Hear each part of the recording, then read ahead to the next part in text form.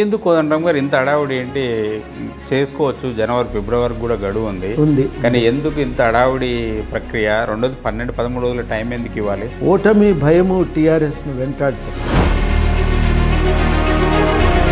అది టీఆర్ఎస్ చేసిన తప్పిదం తప్ప దానికి ఇంకా ఒకరిని నిందించే అవసరం కూడా లేదు. ఐదు వందల యాభై కోట్ల రూపాయలు మా ముఖ్యమంత్రి ఇచ్చారని కేటీఆర్ చాలా ఘనంగా చెప్తున్నారు. చాలామంది ప్రజలు అడిగే సూటిగా అడిగే ప్రశ్న ఏంటంటే మూడో అంతస్తులో ఐదో అంతస్తులో నీళ్ళు ఎట్లా పోతాయండి? వాళ్ళకి ఎట్లా వస్తాయి? మీ ఆధార్ కార్డుదే బ్యాంక్ అకౌంట్దే పాన్ కార్డుదే అని ఎట్ట చెప్తాము? అవన్నీ ఎవరు అడుగుతున్నారు? కదా. ఆహా ఎవరు. అడుగుతున్నారు? మీరు మునిగినాక ఎన్ని రోజులకు పైసలు ఇచ్చిండ్రు? దాదాపు నెల దాటినాక కదా మీరు ఇచ్చింది. విమర్శలు తట్టుకోలేక.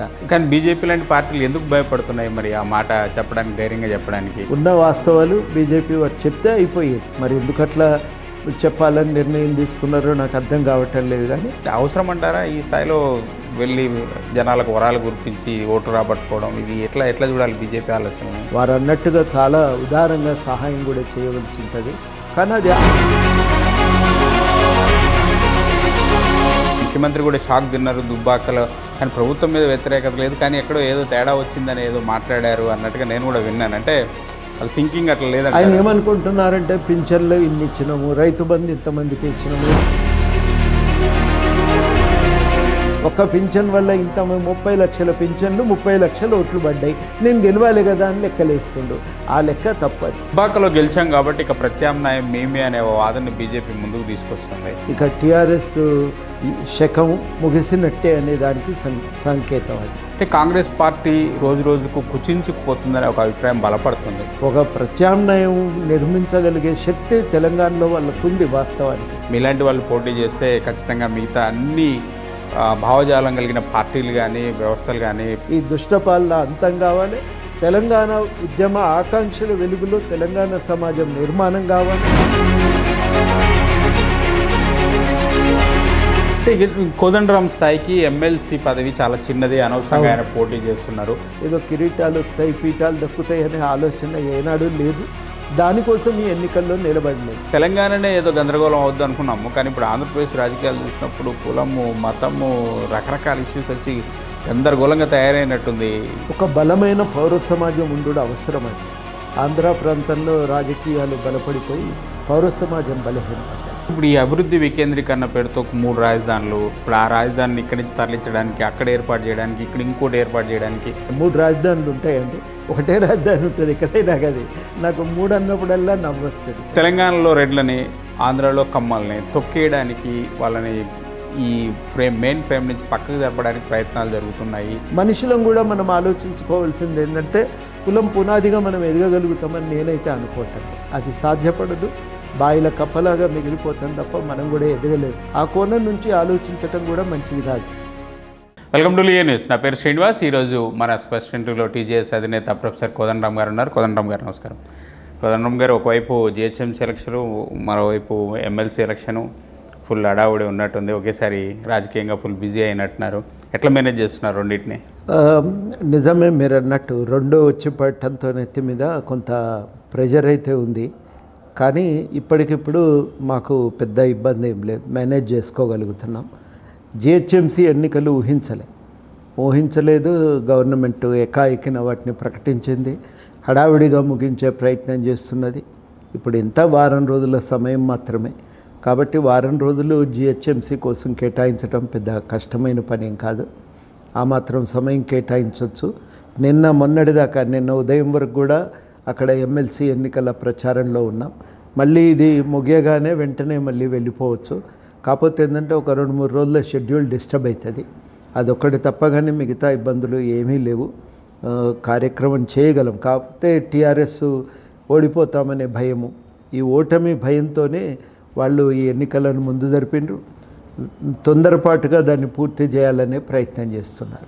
మొత్తం మీద దాని ఫలితం ఏంటంటే ఈ ఎన్నికలు ముందుకొచ్చినాయి. ఎన్నికల ప్రచారానికి ఉండే సమయాన్ని విపరీతంగా కుదించిండ్రు మామూలుగా ఒక మూడు వారాలన్నా టైం ఉంటుంది. వాళ్ళు అనౌన్స్ చేయటం షెడ్యూల్ తర్వాత నోటిఫికేషన్ రావడానికి మధ్యన సమయం ఉంటుంది. ఆ మూడు వారాల సమయం కూడా లేకుండా పోయింది. దానివల్ల మనకు ఇది ప్రచారానికి వీలు పడే పరిస్థితి లేదు ఎక్కువగా. ఏదున్నా ఇంకా సోషల్ మీడియా మీద ఆధారపడటం తప్ప కానీ ప్రచారం చేయటం మాత్రం కొంత ఇబ్బందికరమే ఎవరికైనా. అది మాకు లాభిస్తుంది అనేది అధికార పార్టీకి ఉన్న అంచనా ఎందుకు కోదండరామ్ గారు ఇంత అడావుడి ఏంటి? చేసుకోవచ్చు జనవరి ఫిబ్రవరికి కూడా గడువు ఉంది. ఉంది. కానీ ఎందుకు ఇంత అడావుడి ప్రక్రియ? రెండోది పన్నెండు పదమూడు రోజుల టైం ఎందుకు ఇవ్వాలి? ప్రతిపక్షాలకు కానీ అధికార పక్షానికి కానీ చేసిన పని వాళ్ళు చెప్పుకోవచ్చు. ప్రతిపక్షం తన వయసును తను చెప్పుకోవచ్చు. ప్రచారానికి కొంత సమయం ఇవ్వాల్సి ఉండే కదా. ఓటమి భయము టీఆర్ఎస్ను వెంటాడుతున్నది. నిజానికి ఇవాళ ఈ పరిస్థితి తలెత్తిందంటే అది టీఆర్ఎస్ చేసిన తప్పిదం తప్ప దానికి ఇంకా ఒకరిని నిందించే అవసరం కూడా లేదు. వాళ్ళే ప్రజలు అంటే లెక్కలేనితనము. ఇవాళున్న మొత్తము మీరు రాజకీయాలను కనుక చూస్తే ఎన్నడూ కూడా మనం ఇట్లాంటి పార్టీని చూడలేదు ఇట్లాంటి వ్యవహార శైలిని చూడలేదు. ఎవ్వరి మీద పట్టింపు లేదు దే ఏ వ్యవస్థ మీద కూడా గౌరవం లేదు. అది మనం బాగా ప్రధానంగా మనం చూస్తున్నాం.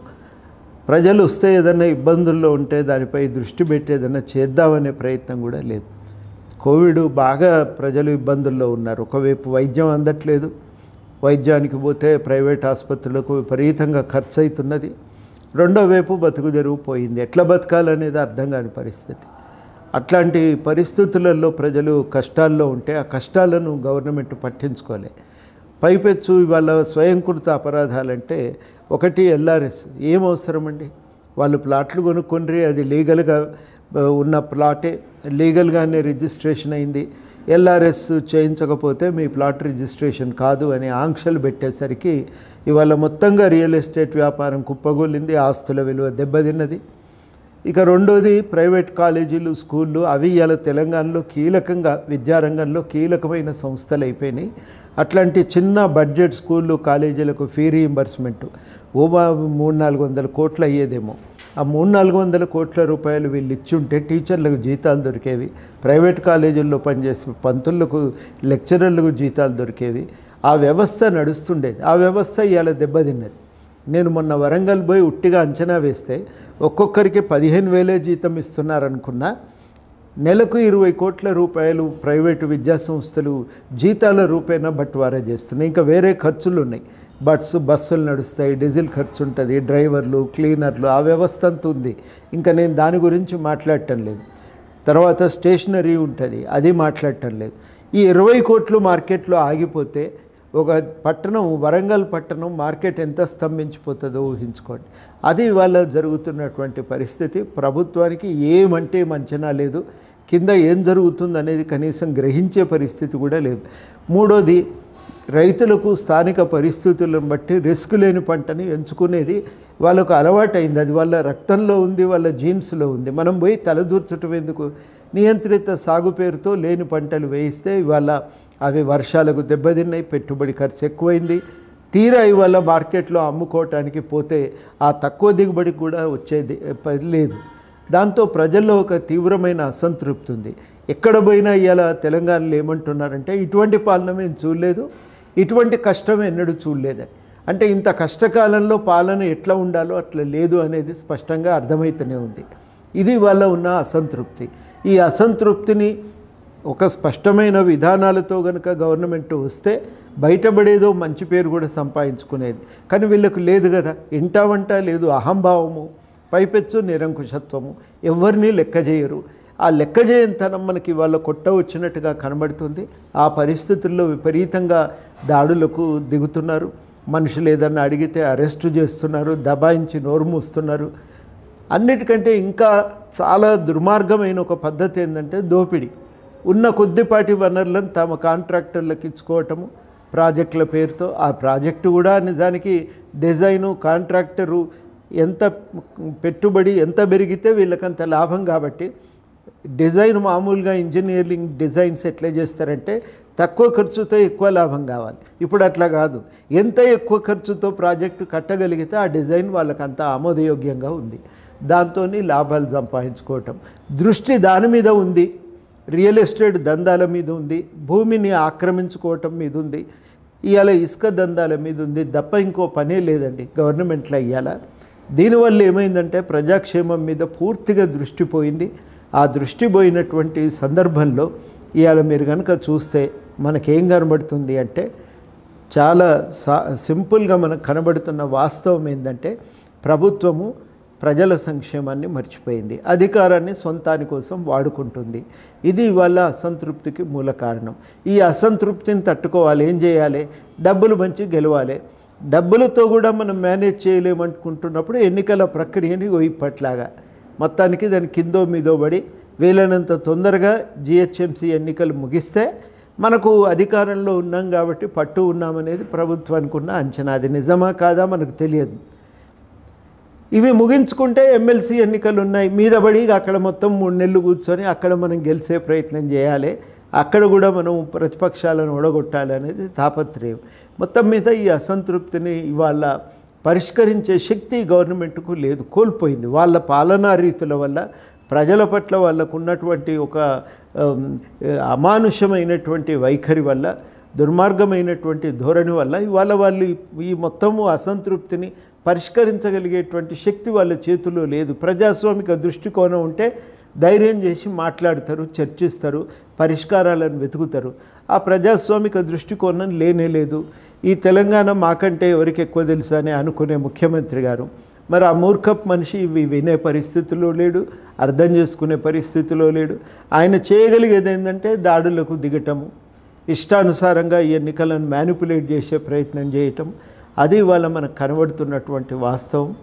ఈ పరిస్థితులలో ఇవాళ గవర్నమెంట్ ఏం చేయాలి? ఇంతకంటే ఎక్కువ చేయగలిగేది ఏమీ లేదు వాళ్ళ చేతిలో. అదే వాళ్ళు ఇవాళ చేస్తున్నారు డబ్బులు కుమ్మరిస్తున్నారు. ఎన్నికల మొత్తం ప్రక్రియను తూట్లు పొడుస్తున్నారు. తాము ఎట్లయినా గెలవాలనే ప్రయత్నం కోసం విపరీతంగా ప్రతిపక్షాల మీద ఒక దాడికి మాటల దాడికి దిగుతుంటారు. మాటల గారడి అది. గ్రేటర్ హైదరాబాద్లో ఓటర్స్ విద్యావంతులు చైతన్యవంతులు నాలెడ్జ్ ఉన్నవాళ్ళు చాలా ఇదిగా ఆలోచించగలిగే వాళ్ళు ఏదన్నా మార్పు ఖచ్చితంగా తీసుకొచ్చే అవకాశం ఉందంటారా? ఆలోచిస్తారంటారా ఆ లెక్కన? లేదు అధికార పార్టీ చాలా చెప్తోంది. చాలా అద్భుతాలు సృష్టించాం. హైదరాబాద్ని విశ్వనగరం చేసాము ఆల్మోస్ట్ ఫ్లైఓవర్లు రోడ్లు డ్రైనేజీలు twenty four hours water power everything ఇవ్వగలిగాము మేము. ఎందుకు మమ్మల్ని నమ్మరు? మా వెంటే ఉంటారు అనేది అధికార పార్టీ వాదన. అది ప- కరెంట్ ఇస్తున్నారనేది వాస్తవమే కానీ కరెంటు ఇవాళ మనకు సప్లై అవుతున్నదంటే కేవలం ఏదో రాష్ట్ర ప్రభుత్వం చేస్తున్న గొప్ప పని ఏమీ లేదు దాంట్లో. మొత్తంగానే భారతదేశంలో కరెంటు ఉత్పత్తి పెరిగింది. ఆ పెరుగుదల వల్ల ఇవాళ కరెంటు సప్లై చేయటం సాధ్యమవుతున్నది. అందులో ఈ రాష్ట్ర ప్రభుత్వం ఏదో కొత్తగా ఉత్పత్తి చేసింది కూడా ఏం లేదు. ఆ కొనుగోలు చేస్తు చేసుకోవటానికి ఇలా కావలసిన కరెంటు దొరుకుతున్నది. కొంటున్నారు. కాకపోతే ఏంటంటే ఈ గవర్నమెంటు చాలామంది గ్రహించని విషయం ఏంటంటే దొరికే కరెంటును విపరీతమైన ధర పెట్టుకుంటున్నారు. నాలుగు రూపాయల కేంద్రం ఇప్పిస్తానంటే మన వాళ్ళు ఆరు రూపాయల పైబడి ధర ఇచ్చి కొనుగోలు చేస్తున్నారు కమిషన్లకు ఆశపడి అట్లా అవసరమైన దానికంటే ఎక్కువ కూడా కొనుగోలు చేస్తున్నారు. ఈ రెండింటి వల్ల ఇవాళ మొత్తంగా రాష్ట్రంలోని ఎలక్ట్రిసిటీ డిపార్ట్మెంట్ సంక్షోభంలో పడిపోయింది. ఎందుకంటే ఉన్న కరెంటు ఉత్పత్తి కేంద్రాలను మూతబెట్టి నిర్లక్ష్యం చేసి బయటికి వెళ్ళి తెస్తున్నారు ఈ కమిషన్ ఆశకి. ఎప్పుడో ఒకప్పుడు అవి కుప్పగూలుతాయి. శ్రీశైలంది ద జల విద్యుత్ కేంద్రం కుప్పగూలినట్టు. అట్లాంటి ప్రమాదం అంచులో ఇవాళ తెలంగాణ విద్యుత్ శాఖ ఉంది. అది రేపు కనుక అట్లాంటివి జరిగితే ఇంకా తీవ్రమైన సమస్యలు తెలంగాణ ఎదుర్కోవాల్సి వస్తుంది. మొత్తం మీదనైతే సప్లై చేస్తున్నారు.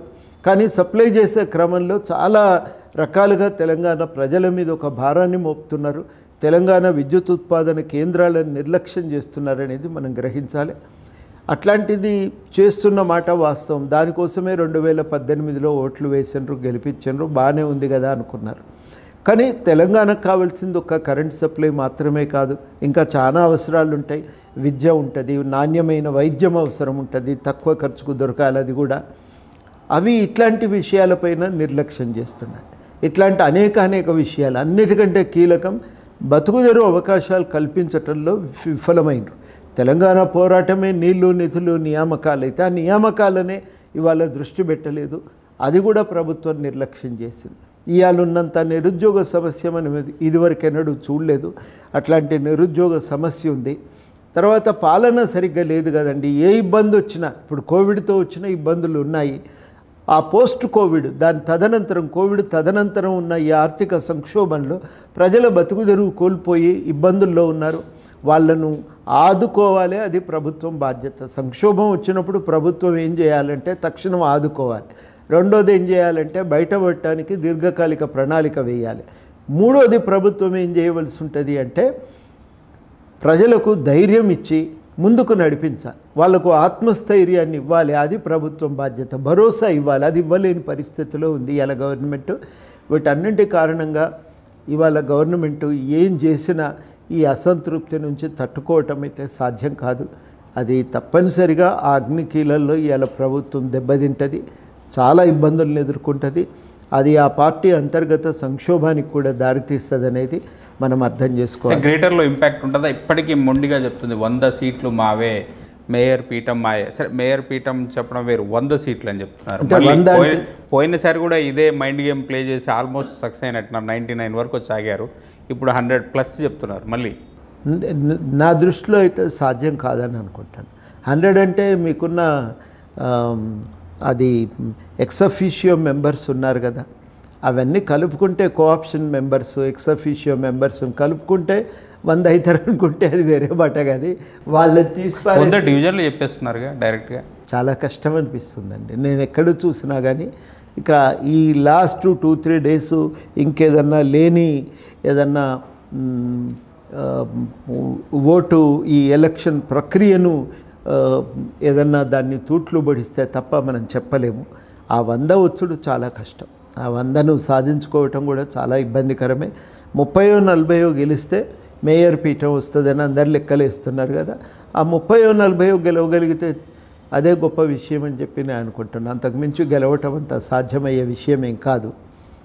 ఇక ఏమన్నా చెప్పలేని రీతుల్లో ఒక అక్రమాలకు పాల్పడితే తప్ప అది సాధ్యం కాదని నేను అనుకుంటాను అంటే చాలా పెద్ద వ్యవస్థని నిర్మాణం చేస్తున్నట్టున్నారు గ్రేటర్ కోసం టీఆర్ఎస్ మంత్రులు ఎమ్మెల్యేలు ఎమ్మెల్సీలు ఎంపీలు ఈవెన్ ముఖ్యమంత్రి. ముఖ్యమంత్రి కూడా ఎల్బీ స్టేడియంలో పెద్ద సభను పెట్టబోతున్నారట కేటీఆర్ రోడ్ షోలు చేయబోతున్నారు. ఒక్కొక్క డివిజన్ ఒక్కొక్క ఎమ్మెల్యేకి ఒక ఎంపీకి అప్పచెప్పిన పరిస్థితి ఉంది కులాల వారిగా మతాల వారిగా మొత్తం మోహరింపు విపరీతమైన మోహరింపు ఉంది. సరే డెవలప్మెంట్ ఒక మాట చెప్పుకుంటున్నారు. రెండోది ఎలక్షన్కి సంబంధించిన మేనేజ్మెంట్ అంతా చాలా గట్టిగా బలంగా చేస్తున్నట్టున్నారు. తట్టుకుంటాయా ప్రతిపక్షాలు? ఇప్పుడు టీఆర్ఎస్ చేతిలో ఉన్న యంత్రాంగం ఎవరి చేతిలో లేదు కాబట్టి ఆ అట్టహాసం అంతా చేస్తారు. కానీ మనం గ్రహించాల్సింది ఏంటంటే ప్రజల్లో అసంతృప్తి ఉన్నప్పుడు ఆ అసంతృప్తిని మేనేజ్ చేయడానికి యంత్రాంగము మేనేజ్మెంట్ చాలదు. చాలదు. దానికి సరి అయినటువంటి ఒక విధానాలతో రావాలి. ఆ విధానాలు ఎప్పుడు సాధ్యమవుతుంది? ప్రజల పట్ల సానుభూతి ఉంటే వాళ్ళ సమస్యలు పరిష్కరించుకోవాలి పరిష్కరించాలనే చిత్తశుద్ధి ఉంటే అదే ఇవాళ మాకు రాజకీయంగా ప్రాధాన్యత అంశంగా ఉంటే అప్పుడు ఈ మేనేజ్మెంట్ దానికి తోడవుతుంది కానీ మీకు ప్రజల మీద ప్రేమ లేదా? సమస్యల్ని పరిష్కరించటం ప్రాధాన్యత అంశంగా లేదు. ఇవాళ కాంట్రాక్ట్లు ఇప్పించుకోవటం మెగా కృష్ణారెడ్డికి దాని మీద ఉన్న శ్రద్ధ దేని మీద ఉన్నదండి? లేదు అది వాళ్ళు ఉన్న వాస్తవం. ఈ ఈ ఈ పరిస్థితులలో ఈ సమస్యలకు పరిష్కారాలు వెతకటం సాధ్యం కాదు. అంతిమంగా ఒక మాట మనం గ్రహించాల్సింది ఏంటంటే రాజకీయం అనేదే ఏ సమాజ భవిష్యత్తుకైనా చాలా కీలకం. రాజకీయాలు సరిగ్గా ఉంటే మంచితో వదురుకుతుంది మీ రాజకీయాలే సరిగ్గా లేవు. మీ అప్రజాస్వామిక రాజకీయాలు. కేవలం స్వార్థం కోసం రాజకీయ యంత్రాంగాన్ని వాడుకునే దృష్టికోణం మీది. ప్రజలపైన వీసమెత్తు పట్టింపు లేనటువంటి ఆలోచ ఆలోచన మీది కార్యాచరణ మీది. దీంట్లో మళ్ళా మీరు ప్రజలకు మేనేజ్మెంట్తో గెలుస్తామంటే సాధ్యమయ్యేది కాదు. బార్డర్లో ఉన్నప్పుడు కొద్దిపాటి అసంతృప్తి ఉన్నప్పుడు మేనేజ్మెంట్తోని బయటపడచ్చు.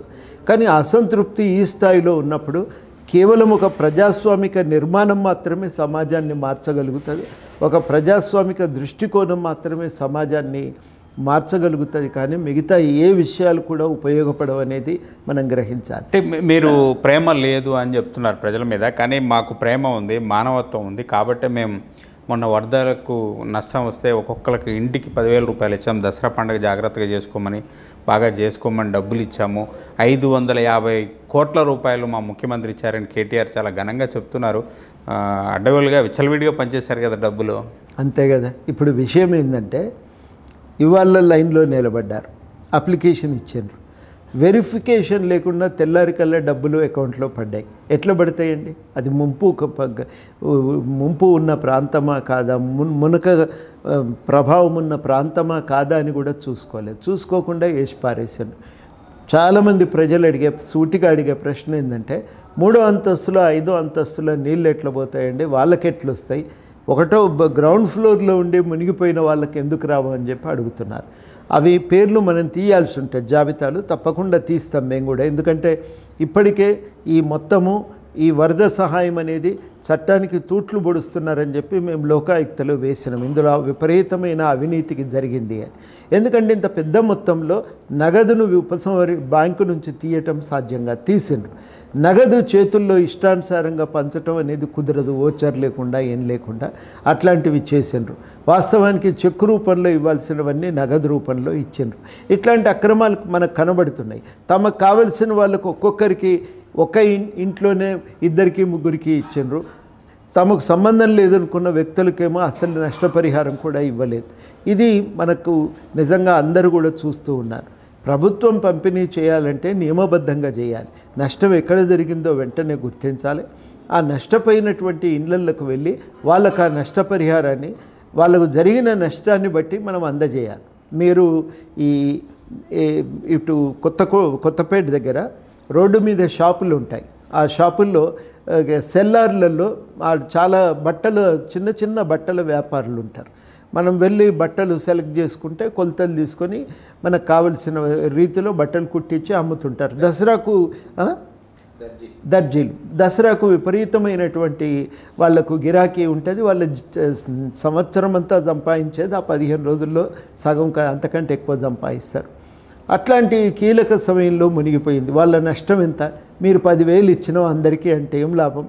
అట్లాంటి వాళ్ళకి ఇంకెక్కువ ఇవ్వాల్సి వస్తుంది. ఇవ్వాలి. పాపం చిరు ఉద్యోగులు. ఏదో కారు లేకపోతే పని చేయటం సాధ్యం కాదు. ఓ కారు కొనుక్కున్నారు సెకండ్ హ్యాండ్లో మారుతి కారు. ఆ మారుతి కారుని నీళ్ళల్లో మునిగి పాడైపోయింది. మళ్ళీ ఎప్పటికోగానే ఆ కారును రిపేర్ చేయించడం వాళ్ళకి సాధ్యం కాదు. మీరు ఏమిస్తారు వాళ్ళకి? కాబట్టి మేము ఇచ్చిన అందరికీ పదివేలు అంటే ఇది అన్యాయం. మొదటిది నష్టాన్ని బట్టి పరిహారం ఇవ్వండి. రెండు ఎవరికి ఎంత నష్టమైందో మీరు సర్వే చేసి ఆ పద్ధతిలో ఇవ్వాలి కానీ ఇష్టానుసారంగా మీకు తోచిన వాళ్ళందరికీ పది పది వేలు ఇచ్చుకుంటూ పోవటం అనేది కరెక్ట్ కాదు. అంటే కట్టుబట్టలతో ఉన్న వాళ్ళ దగ్గర వెరిఫికేషన్ ఏంటి? మీకు మానవత్వం లేదా? అని మధ్య ఏదో కేటీఆర్ అన్నట్టున్నారు. అంటే వాళ్ళు ఏమీ లేక రోడ్డు మీద నిలబడ్డారు కదా కాబట్టి పదివేలు ఇచ్చాము. నువ్వు ఆధార్ కార్డుదే బ్యాంక్ అకౌంట్దే పాన్ కార్డుదే అని ఎట్ట చెప్తాము? అవన్నీ ఎవరు అడుగుతున్నారు? కదా. ఎవరు. అడుగుతున్నారు? మీరు మునిగినాక ఎన్ని రోజులకు పైసలు ఇచ్చిండ్రు? దాదాపు నెల దాటినాక కదా మీరు ఇచ్చింది. విమర్శలు తట్టుకోలేక. ఆ ప్రాంతాలు సందర్శించలేదు నష్టపరిహారం లెక్కగట్టలేదు సహాయం అందించలేదని విమర్శలకు నెల తర్వాత మీరు అందజేసిండ్రు. తెల్లవారే పోయి ఇచ్చుంటే మీరు ఈ మాట అంటే అర్థం ఉంటుంది. నెల తర్వాత ఇచ్చినట్టు ఈ నెల రోజుల్లో మీ సర్వే ఏం చేసిండ్రు? మీరు ఎక్కడ నష్టపరిహారం అయిందో మీరు గుర్తించలేదా? ఆ నష్టం పోయిన ప్రాంతాలను గుర్తిస్తే ఆ ప్రాంతాల్లో కదా సహాయం చేయాల్సింది. మరి ఆ ప్రాంతాలకు మీరు సందర్శించి అక్కడ నష్టపోయిన కుటుంబాలను గుర్తించి నష్టానికి తగిన పరిహారం అక్కడ ఇవ్వాలి. ఇవ్వలేదు. అది మనం ఇవాళ సీరియస్గా ఆరోపిస్తున్న విషయం. బాధితులకు అందలేదు. అసలు ఏ రకంగా మున్ ముంపుకు గురిగానటువంటి వ్యక్తులకేమో అవసరమైన దానికంటే ఎక్కువ సహాయం ఇచ్చిండ్రు. ఇది కరెక్ట్ కాదని కదా? అందరం అనేది ఒక నియమబద్ధంగా పంపిణీ జరగాలి. ఎవరు నష్టపోయినరో వాళ్ళకు పంపిణీ నష్టపరిహారం అందాలి తప్ప మీ రాజకీయ అవసరాల రీత్యా రాబోయే మున్సిపల్ ఎన్నికల రీత్యా మీకు కావలసిన వాళ్ళకు పంచుకోవటానికి డబ్బు వాడుకొని బుకాయించి దాన్ని అందరి నోరు ముగించే ప్రయత్నం చేస్తే ఇది చెల్లది. మీకు టీఆర్ఎస్ కార్యకర్తలు నాయకులు పంచుకున్నారనేది. దాంట్లో ఏమీ అన్న అన్ని చోట్ల అట్లే జరిగింది అని అంటలేము కొంతమందికి బాధితులకు కూడా దొరికింది. కానీ చాలా వరకు ఏం చేసిండ్రంటే తమ పరిచయం ఉంటే డబ్బు ఇవ్వటం వేరే మాట. తమకు తాముగా ఇగో వీళ్ళు నష్టపోయినరు. ఈ జాబితాలో వీళ్ళ పేరుంది కాబట్టి మేము వీళ్ళకి ఇస్తున్నామంటే అది వేరు. ఇవ్వటం ఎవరు ఇవ్వాలి అధికారులు వెళ్ళి. దాన్ని ఇవ్వాల్సి ఉంటుంది. పక్కన రాజకీయ నాయకులు పంపిణీ చేయటం కోసం ఇది చేయకూడదు. దట్స్ ఇస్ రూల్స్ ప్రకారం. ఎంత అధికార పార్టీ అయినా పంపిణీ చేసే అధికారం వాళ్ళకు లేదు. ఆ పంపిణీ చేసే అధికారం అధికారులకే ఉంటుంది. అది. అట్లా మీరు మొత్తంగా ఉన్న రూల్స్ను పట్టించుకోకుండా పంపిణీ చేస్తే దాని మీద తప్పకుండా మేము లోకాయుక్తలో ఉన్నాయి కదా ఈ కేసు విచారణ కూడా రాబోతున్నది వరద సాయం ఆగింది ఎలక్షన్ కమిషన్ పేరు చెప్పి ఎలక్షన్ కమిషన్ ఆపమందని చెప్తున్నారు. ఏంటి దీని వెనక ఏంటి కథ? అసలు చాలా పెద్ద చర్చ జరుగుతుంది. బీజేపీ వాళ్ళు లెటర్ రాశారు కాబట్టి ఆపినామని ఎన్నికల కమిషన్ నుంచి ఏదో వచ్చినట్టుంది టీఆర్ఎస్ వాళ్ళు అంటున్నారు. లేదు లేదు మాకు సంబంధం లేదు మా సంతకాన్ని ఫోర్జర్ చేశారని బండి సంజయ్ గారు చెప్తున్నారు. ఎవరు ఆపారు? ఎందుకు ఆపారు? ఎలా ఆగింది? ఆపాల్సిన అవసరం ఉందా లేదా? అని ఇప్పుడు తప్పు జరిగినప్పుడు ఆపితే తప్పేందండి? ఎందుకు వెనక ముందు అవుతున్నారో నాకు అర్థం కావటం లేదు. ఏ పార్టీ వాళ్ళైనా సూటిగా చెప్పాల్సింది ఏంటంటే ఎస్ బాధితులకు సహాయం అందినప్పుడు తప్పనిసరిగా మా అభ్యంతరాలు మేము లేవనెత్తుతున్నామనే సూటిగా చెప్పాలి. నేను ఇవాళ చెప్పదలుచుకున్నా. బాధితులకు సహాయం జరగనప్పుడు అడగం. అభ్యంతరం ఉంటే అడుగుతాం తప్పకుండా మాకు ఈ అభ్యంతరాలు ఉన్నాయని అడుగుతాం. సర్కారు పైసలను మీరు ఎన్నికల కోసం పంపిణీ చేస్తూ ఉంటే ఎట్లా ఎందుకు ఊరుకుంటారంటే ఎవరైనా ఊరుకోవటానికి వీళ్ళే తప్పకుండా అడగాల్సిందే. అడిగినరు. అంత మాత్రం చేత మేము విచ్చలవిడిగా పదివేలు ఇస్తూ ఉంటా అంటే వాళ్ళు వచ్చి అడ్డుకున్నారంటే నీ పదివేలు మీ ఇంటి సొమ్ము కాదు. మీ ఇంట్లో సొమ్ము మీరు గేటు ముందు నిలబడి వచ్చేటోళ్ళకి పోయేటోళ్ళకి ఇచ్చుకొని ఎవ్వరు అభ్యంతరం చెప్పారు ఎవరని చెప్తే మీరు అడిగే అధికారం ఉంది. కానీ సర్కారుకు సంబంధించిన రకము పంపిణీ చేసేటప్పుడు మీరు ఏ తెలుసుకుంటే ప్రకటించండి. పేదలందరికీ నగరంలో ఇష్టం ఇవ్వండి ఎవరికి అభ్యంతరం లేదు. వర్షాల వల్ల బతుకు తెరువు కోల్పోయిన ప్రతి ఒక్కరికి ఐదు ఐదు పదివేలు మేము ఇస్తాం నిజంగా నష్టపోయిన వాళ్ళకు నష్టపోయినంత ఇస్తామనంటే ఎవరికి అభ్యంతరం లేదు. ఎందుకు అభ్యంతరం ఉండాలి ఎవరికైనా? ఉండటానికి వీల్లేదు ఏది చేసినా రూల్ చేసి చేయండి. అట్లాంటప్పుడు అర్హులు అడగటానికి అవకాశం ఉంటుంది. కొందరికి ఇస్తారు కొందరు ఇవ్వకపోతే ఇవ్వకపోవటానికి కారణం కనబట్టం లేదు. ఇట్లా అక్రమాలు జరుగుతున్నప్పుడు ఆపమని ఎవరైనా అడుగుతారు. ఎన్నికల్లో ఈ పంపిణీ చేయటం కూడా కరెక్ట్ విషయం కాదు. ఎన్నికల సందర్భంగా కూడా ఈ పంపిణీ చేయకూడదనేది ఎన్నికల కమిషన్ రూల్స్ అవి. కానీ బీజేపీ లాంటి పార్టీలు ఎందుకు భయపడుతున్నాయి మరి ఆ మాట చెప్పడానికి ధైర్యంగా చెప్పడానికి? ఏదైనా లబ్ధిదారుల నుంచి గొడవ ఏమైనా వ్యతిరేకత వస్తుందనా? లేకపోతే టీఆర్ఎస్ పార్టీ బీజేపీ మీదకి నెట్టే ప్రయత్నం ఎందుకు చేస్తుందంటారు? వాస్తవానికి ఉన్న వాస్తవాలు బీజేపీ వారు చెప్తే అయిపోయేది. మరి ఎందుకు అట్లా చెప్పాలని నిర్ణయం తీసుకున్నారో నాకు అర్థం కావటం లేదు కానీ అది వేరే విషయం. ఇక వాళ్ళ అంతర్గతంగా వాళ్ళ వ్యూహం ఏముందో అది వేరే విషయం. నా మటుకు నేను అనుకునేది ఏదైతే నిష్కర్షగా వాస్తవాలు మాట్లాడాలండి ఇవి మన వ్యక్తిగతమైన అవసరాలు వ్యక్తిగతమైనటువంటి లాభాలు కాదు. మనం ఆలోచించాల్సింది సమాజానికి లాభం. నిజంగానే పేదవాళ్ళకి ఇవ్వండి ఏం అభ్యంతరం లేదు. పదివేలు కాదు ఇరవై వేలు పంచండి అభ్యంతరం లేదు. కానీ దానికి ఒక పద్ధతి ఉండాలి. ఆ పద్ధతి ఉండాలి ఒక నియమాలు పాటించాలి అందరికీ అందేటట్టు చూడాలి. ఇచ్చేటప్పుడు ఒకరికి ఇచ్చి ఒకరికి ఇవ్వకపోతే ఎందుకు ఊకుంటారండి? తప్పకుండా అడుగుతారు అడగాల్సిన అవసరం ఉంది అడుగుతారు. అది నేను అనేది నిష్కర్షగా చెప్పటమే మంచిది. దాన్ని ఎందుకు దాయాలి? దాన్ని చూసి ఎందుకు మనం భయపడవలసిన అవసరం ఉంటుంది? ఏం లేదనే నేను అనుకుంటాను. బండి సంజయ్ గారు బీజేపీ అధ్యక్షుడు ఒక నిన్న ఒక స్టేట్మెంట్ చేశారు. మేము మేయర్ పీఠం గెలిస్తే ఒక్కొక్కరికి ఇరవై ఐదు వేలు ఇస్తాము వృద్ధ సాయం సంబంధించి. కారు పోతే కారు ఇస్తాము. ఇంకా ఏదైనా షాప్ పోతే షాప్ పెట్టిస్తాము. లేకపోతే ఏది పోతే అది రీప్లేస్ చేస్తాము. పెద్ద ఎత్తున నిధులు తీసుకొచ్చి చేస్తామని ఒక మాట ఏదో చెప్పినట్టున్నారు. ఏంటి సాధ్యమవుతుందండి? జిహెచ్ఎంసీ మేయర్ చైర్లో కూర్చోగానే ఇవన్నీ ఎట్లా వస్తాయి? డబ్బులు ఎక్కడి నుంచి సాధ్యం కాదండి. హైదరాబాద్కున్న బడ్జెట్లో ఇన్ని సాధ్యం కాదున్న రోడ్లకు మెయింటెనెన్స్కి స్కూళ్ళు అవి నడపటానికి కొంత ఆర్టీసీకి ఇవ్వవలసి ఉంది వాటన్నింటికి పోను ఆడ అక్కడికక్కడికి బడ్జెట్ సరి సరిపోతుంది. అంతకంటే కుండ హైదరాబాదు నిర్వహణ మొత్తము బడ్జెట్ ఉపయోగ సరిపోయేంత ఉంది. అది సంతోషకరమైన విషయం అంతకుమించి ఇక్కడ ఇవన్నీ చేయటానికి సంక్షేమ పథకాలన్నీ అమలు చేయటానికి అక్కడ కుదరదు. ఏ లెక్కన చెప్పినరో ఏమో మనకైతే తెలియదు. మరి ఢిల్లీ నుంచి ఏమన్నా తెప్పించవచ్చు అనే ఆశ ఉండెనో ఏమో. ఎంత ఉన్నా కానీ అదంతా సులువుగా అయ్యేటువంటి పని అయితే కాదు.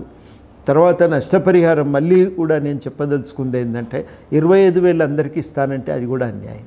ఒకరికి పదివేలు అవసరం నష్టం పోయింటే పదివేలు ఇవ్వండి ఒకరికి నాలుగు లక్షల నష్టం జరిగింది నాలుగు లక్షలు ఇవ్వండి ఒకరికి లక్ష రూపాయల నష్టం జరిగింది లక్ష రూపాయలు ఇవ్వండి.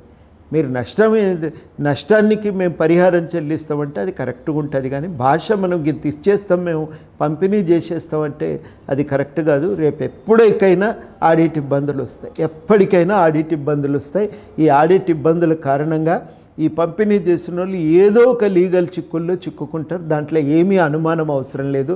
బీహార్ దానా కుంభకోణం లాంటిదే. ఇది ఇంకోటి తప్ప ఇంకో ఇది దీనికి ఇంకోటి లేనే లేదు. కాబట్టి జాగ్రత్తలు పాటించాల్సిన అవసరం ఉంటుందనేది అందరం గుర్తించాలి. గుర్తించకపోతే ఎట్లవుతుందండి? అందుకని తప్పును ఎత్తి చూపేటప్పుడు దేని పరిధిలో దేని నేపథ్యంలో తప్పు ఎత్తి చూపుతాం రాజ్యాంగం ప్రకారం చట్టం ప్రకారం ఏం జరిగి ఉండాల్సింది ఏం జరిగింది? మన దగ్గర వరద సహాయం అందించేటప్పుడు ఆ సహాయం ఎట్లా అందించాలి అనేది డిజాస్టర్ మేనేజ్మెంట్ యాక్ట్ ఉంది. ఆ చట్టం సహాయం ఎట్లా అందించాలనేది ఇంకా ఇతర నియమాలు ఉన్నాయి భారత రాజ్యాంగం ఉంది. వీటన్నింటి వెలుగులో జరగాల్సిన కార్యక్రమాలు వాటి ఉల్లంఘన ఎక్కడ జరిగిందో వాటి గురించి సూటిగా మాట్లాడాలి. వివక్ష అనేది కుదరదు భారత రాజ్యాంగం ప్రకారం. నష్టపోయిన వాళ్ళ మధ్యలో వివక్ష అనేది కుదరదు. ఒకరికి ఇస్తే ఇంకొకరికి ఇవ్వవలసిందే. అది నేను ప్రధానంగా చెప్పదలుచుకున్న విషయం. రెండోది పంపిణీ చేసేటప్పుడు మన దగ్గర అధికారికమైన రూల్స్ రెగ్యులేషన్స్ ఉన్నాయి. నష్టపరిహారాన్ని ఎట్లా లెక్కగట్టాలి ఎట్లా ఇవ్వాలి అనే దానికి సంబంధించి డిజాస్టర్ మేనేజ్మెంట్ యాక్ట్ ఉంది. ఇవన్నీ కూడా ఉల్లంఘించింది కదా ఇవాళ గవర్నమెంట్. అంటే బీజేపీ ఓట్ల కోసమేనా? ఇంత పెద్ద ప్రామిసెస్ ఇంత అడావుడి ఆయన ఏదో చెప్పాడు ట్రాఫిక్ రూల్స్ లేవు. ఏంటి? చలాన్స్ లేవు. మీ ఇష్టం వచ్చినట్టు చేసుకోవచ్చు. ఇట్లా ఏదో హామీలు గుప్పిస్తున్నట్టున్నారు ఇంత ఏంటి అవసరం అంటారా ఈ స్థాయిలో వెళ్ళి జనాలకు వరాలు గుర్పించి ఓటు రాబట్టుకోవడం ఇది ఎట్లా ఎట్లా చూడాలి బీజేపీ ఆలోచనని ఆచరణాత్మకమైనటువంటి మనం ప్రణాళికతో రాకపోతే చాలా ఇబ్బందులు వస్తాయి. ప్రజల కష్టాలను తీర్చడానికి మనం చాలా చేయవలసి ఉంటుంది. వారు అన్నట్టుగా చాలా ఉదారంగా సహాయం కూడా చేయవలసి ఉంటుంది. కానీ అది ఆచరణాత్మకంగా ఉండాలి. ఆచరణాత్మకంగా లేకపోతే ఇబ్బంది వస్తుంది. ఉదాహరణకి చలాన్ల గురించి మనం మాట్లాడదలుచుకున్నాం. చాలా సీరియస్గా మనం చెప్పాల్సింది ఏంటంటే రోజు పొట్టకూటి కోసమై వాహనాలు నడిపే వాళ్ళు ఉంటారు. ట్యాక్సీ డ్రైవర్లు ఆటో డ్రైవర్లు తర్వాత చిన్న గూడ్స్ క్యారియర్లు. వీళ్ళకు ఒక్కరోజు వెయ్యి రూపాయలంటే అది పొట్ట మీద కొట్టినట్టే.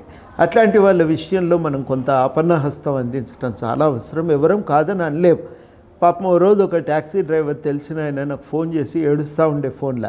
నాకే బాధ అనిపించింది. ఆయన మామూలుగా ధైర్యంగా ఉంటాడు. వాహనం అద్భుతంగా నడుపుతాడు. మీరు రాత్రంతా నడపమంటే ఒక రెండు మూడు రోజులు వరుసగా ఆగకుండా బండి నడపగలుగుతాడు. అంత శక్తి ఉన్నాడు. కానీ ఏడిస్తే నాకే ఆశ్చర్యం అనిపించింది. చాలా బాధ కూడా అయింది. ఆయన అనేది ఏంటంటే వరుసగా రోజు వెయ్యి రూపాయలు ఇస్తే నేను ఇంటికేం తీసుకుపోతా సార్ అని ఏడుస్తూ ఉండే. అంటే వాళ్ళ తిప్పలను దృష్టిలో పెట్టుకుందాం. పెట్టుకొని వాళ్ళ విషయంలో మనం కొంత ఉదారంగా ఉండటం అనేది ఏ ఫైన్ అయినా మనుషులను నియంత్రించడానికి ఉపయోగపడాలి కానీ నియమాలు నియంత్రించడానికి ఉపయోగపడాలి కానీ విపరీతంగా పొట్టగొట్టడానికి దారి తీయొద్దు. ఆ విషయంలో మనం జాగ్రత్త పడాలి. అప్పుడు చెప్పాలి. మేము వీళ్ళని ఆదుకుంటాం అనేది చెప్పాలి. ఎట్లా ఆదుకుంటాం అనే దాని విషయంలో ఖచ్చితంగా మనం మన మన పద్ధతిని మనం చెప్పాలి. తప్పనిసరిగా వాళ్ళని ఆదుకోవాలి. ఎందుకు ఆదుకోవద్దండి? వాళ్ళని ఎట్లా ఆదుకుంటాం అనేది మనము మన పాలసీ ఏందనేది మనం ప్రకటించాలి జి జిహెచ్ఎంసీ నుంచే నేను చలాన్లు పే చేస్తా అనేదో చెప్తున్నట్టున్నారు అది అట్లా అట్లా? కుదరదు అట్లా కుదరదు. అది అధికారికంగా అట్లా చేస్తే అందరికీ చేయాల్సి వస్తుంది. నేను అన్నాను కదా రైట్ టు ఈక్వాలిటీ కింద అందరికీ చేయాల్సి వస్తుంది. అట్లా కుదరదు. మినహాయింపు ఇవ్వండి. ఇప్పుడు ఉదాహరణకి పార్కింగ్ పేరుతో వేసే ఫైన్లు ఉంటాయి. మొత్తంగానే మీరు ఈ ట్రాఫిక్ చాలాన్లు లైన్ జంపింగో ఇంకో దాని పేరు మీదనో వెయ్యి రూపాయలు ఇస్తున్నారు వెయ్యి రూపాయలు మీరు తగ్గించండి. అందరికీ తగ్గించండి. ఇప్పుడు వాహనాలు పార్కింగ్ లేక గూడ్స్ క్యారియర్లో ప్యాసింజర్ వెహికల్స్ వాళ్ళు ఇబ్బంది పడుతుంటారు. అట్లాంటి వాటి విషయంలో కొంత మినహాయింపు ఇవ్వండి. హేతుబద్ధమైన ఒక మార్గదర్శకాలను పెంపొందించాలి. ఇవన్నీ మనం చేయొచ్చు. ఇట్లాంటివి మనం మాట్లాడగలిగితే లాభం ఉంటుంది. ఇది ఎప్పుడు సాధ్యమవుతుందంటే ఆ పట్టణము పట్టణ జీవితం మీద ఒక అవగాహన ఉంటే అది సాధ్యమవుతుంది. పట్టణంలో పేద ప్రజలు బతుకుదెరువు కోసం ఎంత తనలాడతారో తెలిస్తే అప్పుడు అర్థమవుతుంది. ఉదాహరణకి చిన్న విషయం అండి. సాయంత్రం కూరగాయలు అమ్ముతారు. వాళ్ళకు ఒక లైట్ ఒక ఆయన తెచ్చి కిరాయికి ఇస్తారు. నిజంగానే కూరగాయలు అమ్మే వాళ్ళందరూ లైట్ కొనుక్కోవటానికి అది వెయ్యి రూపాయలు పదిహేను వందలు అవుతుంది. ఆ పదిహేను వందలు వాళ్ళకి వాళ్ళకు అందరికీ కూడా మనం ఇవ్వగలిగితే అది కొనుక్కోవటానికి ఆ కంపెనీ ఏదో వాళ్ళు ఒకటి రెండు కంపెనీలు ప్రోత్సహించగలిగితే వాళ్ళకు బిజినెస్ అవుతుంది నిరుద్యోగులకి. ఈ కొనుక్కునే వాళ్ళకి సాయంత్రం దందాలో వంద రూపాయలు అదనంగా మిగులుతాయి వాళ్ళకి. ఇట్లాంటివి మనం సహాయం చేయొచ్చు. వాళ్ళకు ఆ బల్లలు అవి కిరాయికి తెచ్చుకుంటా ఉంటారు. అట్లాంటి వాటి విషయంలో గవర్నమెంట్ ఇంకేదన్నా కొంత సహాయం చేయొచ్చు ఆలోచించాలి. మనం చేయవలసింది అట్లాంటి విషయాల్లో చాలా ఆలోచన అవసరం ఉంటుంది. పేద ప్రజలు నగరంలో ఉండి బతుకు తెరువు సంపాదించాలనుకోవటం అంత ఈజీ విషయమేం కాదు. చిన్న ఇప్పుడు మా తెలిసిన వాళ్ళు దీపావళి సందర్భంగా ఇంట్లో కూర్చొని కష్టపడి దీప ప్రమిదలు తయారు చేసి అందంగా వాటిని ఇళ్ళ ఇంట్లో కూర్చొని అందరి ఇంటిల్లి పది కూర్చొని రంగులు వేసిండ్రు వాటికి. అమ్ముకుందామంటే ఫుట్పాత్ మీదకి రావాలి. ఫుట్పాత్ మీదకి రాగానే పోలీసు వాళ్ళు వచ్చి ఇబ్బంది పెడతారు. అట్లాంటి వాళ్ళకి ఏం సౌకర్యం ఇస్తాం? చెప్పుదాం కనీసం. నా దృష్టిలో ఇట్లాంటివి బోల్డ్ అన్ని సమస్యలు ఉన్నాయి వాటి మీద మనం దృష్టి పెట్టాలి ఆలోచించాలి. అవి మనం కీలకమవుతాయి జనరల్గా మనము ఉదారంగా ఇచ్చి పారేస్తామంటే రూల్స్ ఒప్పుకోవు అమల్లో సాధ్యమయ్యేవి కావు. సాధ్యమయ్యేటువంటి రీతిలో ఆచరణాత్మకంగా మనం కార్యాచరణ తయారు చేయాలి. ఇస్తామంటే కూడా ప్రజలేం నమ్మరు ఎన్నికల కోసం అంటున్నారు తర్వాత ఇస్తారో ఇయ్యరో అని కూడా అనుకుంటారు. అది మనం ఇవాళ దృష్టి పెట్టాల్సిన విషయం అంటే మీరు డెవలప్మెంటల్ వర్క్స్ లేకపోతే హ్యూమన్ ఇది చెప్తున్నారు బతుకు గురించి చెప్తున్నారు. కానీ గత రెండు మూడు రోజులు చూస్తున్నాం హైదరాబాద్ ఎలక్షన్ ఎజెండాని మార్చేసే ప్రయత్నం జరుగుతున్నట్టుంది. కమ్యూ కమ్యూనల్ ఇష్యూస్ వస్తున్నాయి హిందువులు ముస్లిమ్స్ ఇష్యూస్ వస్తున్నాయి లేదా ఇంకా వేరే వేరే ఇష్యూస్ తీసుకొస్తున్నారు. ఏమన్నా ఎలక్షన్ ఎజెండా మారబోతుందా? ఒక పార్టీ ఈ ఏదన్నా ఈ ఈ యాంగిల్లో కొంత క్రియేట్ చేసుకోవాలి స్పేస్ తీసుకోవాలని ఆలోచన చేస్తుంది అనుకోవచ్చా? ఇప్పుడు మతం చాలా ముఖ్యమండి మనిషి జీవితంలో. దాన్ని మనం తోసి పెట్ట పారేయలేం దాన్ని. ఎందుకంటే అది ఒక ఆత్మస్థైర్యాన్ని ఇస్తుంది మనిషికి నిండుతనాన్ని ఇస్తుంది. కాబట్టి మతం అనేది చాలా అవసరం. కానీ మతానికి రాజకీయాలు అనేవి కూడా అవసరం మనిషికి. రాజకీయాలు ఎందుకు అవసరం అంటే ఈ మొత్తం మన సమిష్టి జీవితాన్ని నిర్వహించుకోవటం రాజకీయాల ద్వారా మాత్రమే సాధ్యం. అంటే మన సమస్యలు ఏమన్నా ఉంటే పరిష్కరించుకోవాలంటే మన అందరికీ కలిసి స- అందరి బాగు కోసం ప- ఒక విధానం తయారు కావాలంటే అది రాజకీయాలు మాత్రమే చేయగలుగుతాయి. కానీ రాజకీయాలు పూజారి పని చేయవలసిన అవసరం లేదు. మతానికి సంబంధించిన పని అంతా పూజారి చేస్తుంటారు గుడి చేస్తుంటుంది మసీద్ చేస్తుంటుంది చర్చ్ చేస్తుంటుంది అక్కడ మనం రాజకీయాలు నడపాలి.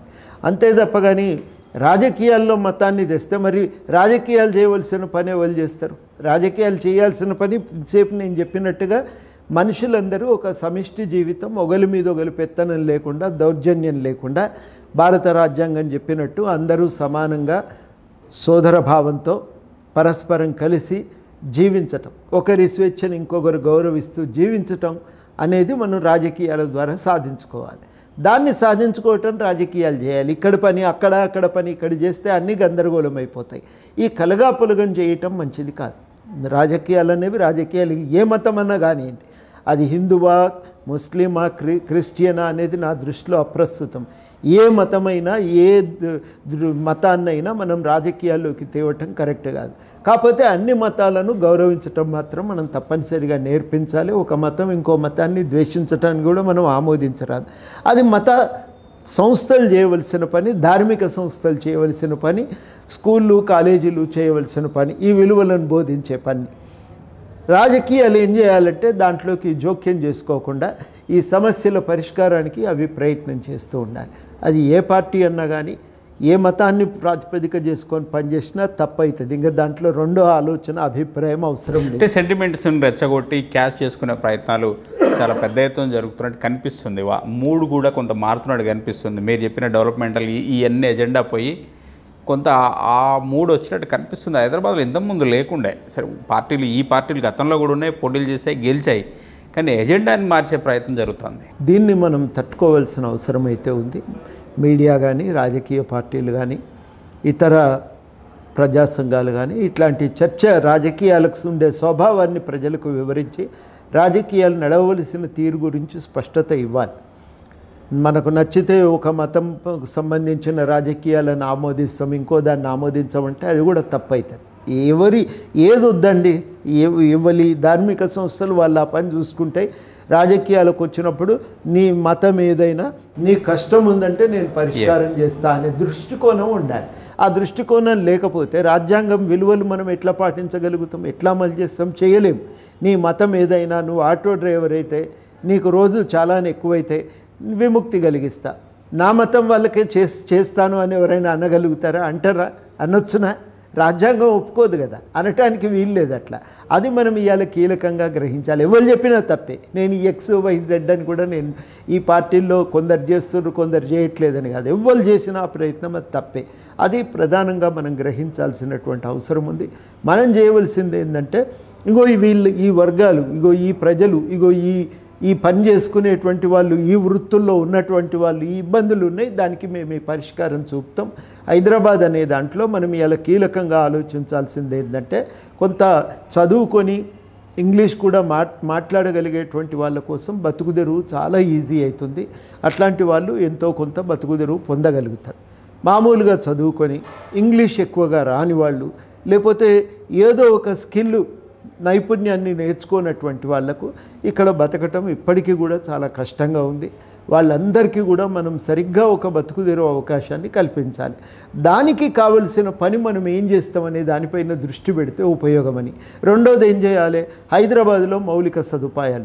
మనం అట్టహాసాలు హంగుల కోసం పోయి కొన్ని చోట్ల మంచి ఒక అద్భుతమైనటువంటి బిల్డింగులను పార్కులను వంతెనలను చూపిస్తున్నాం కానీ వాస్తవానికి ఎంతమందికి మౌలిక సదుపాయాలు ఎంత పెంపొందించడం? అది హైటెక్ సిటీ కావచ్చు సంపన్నులు నివసించే ప్రాంతమే కావచ్చు పేదలు ఉండే ప్రాంతమే కావచ్చు ఏ ప్రాంతమైనా ఇవాళ మీరు మౌలిక సదుపాయాలు అయితే కల్పించలేదు.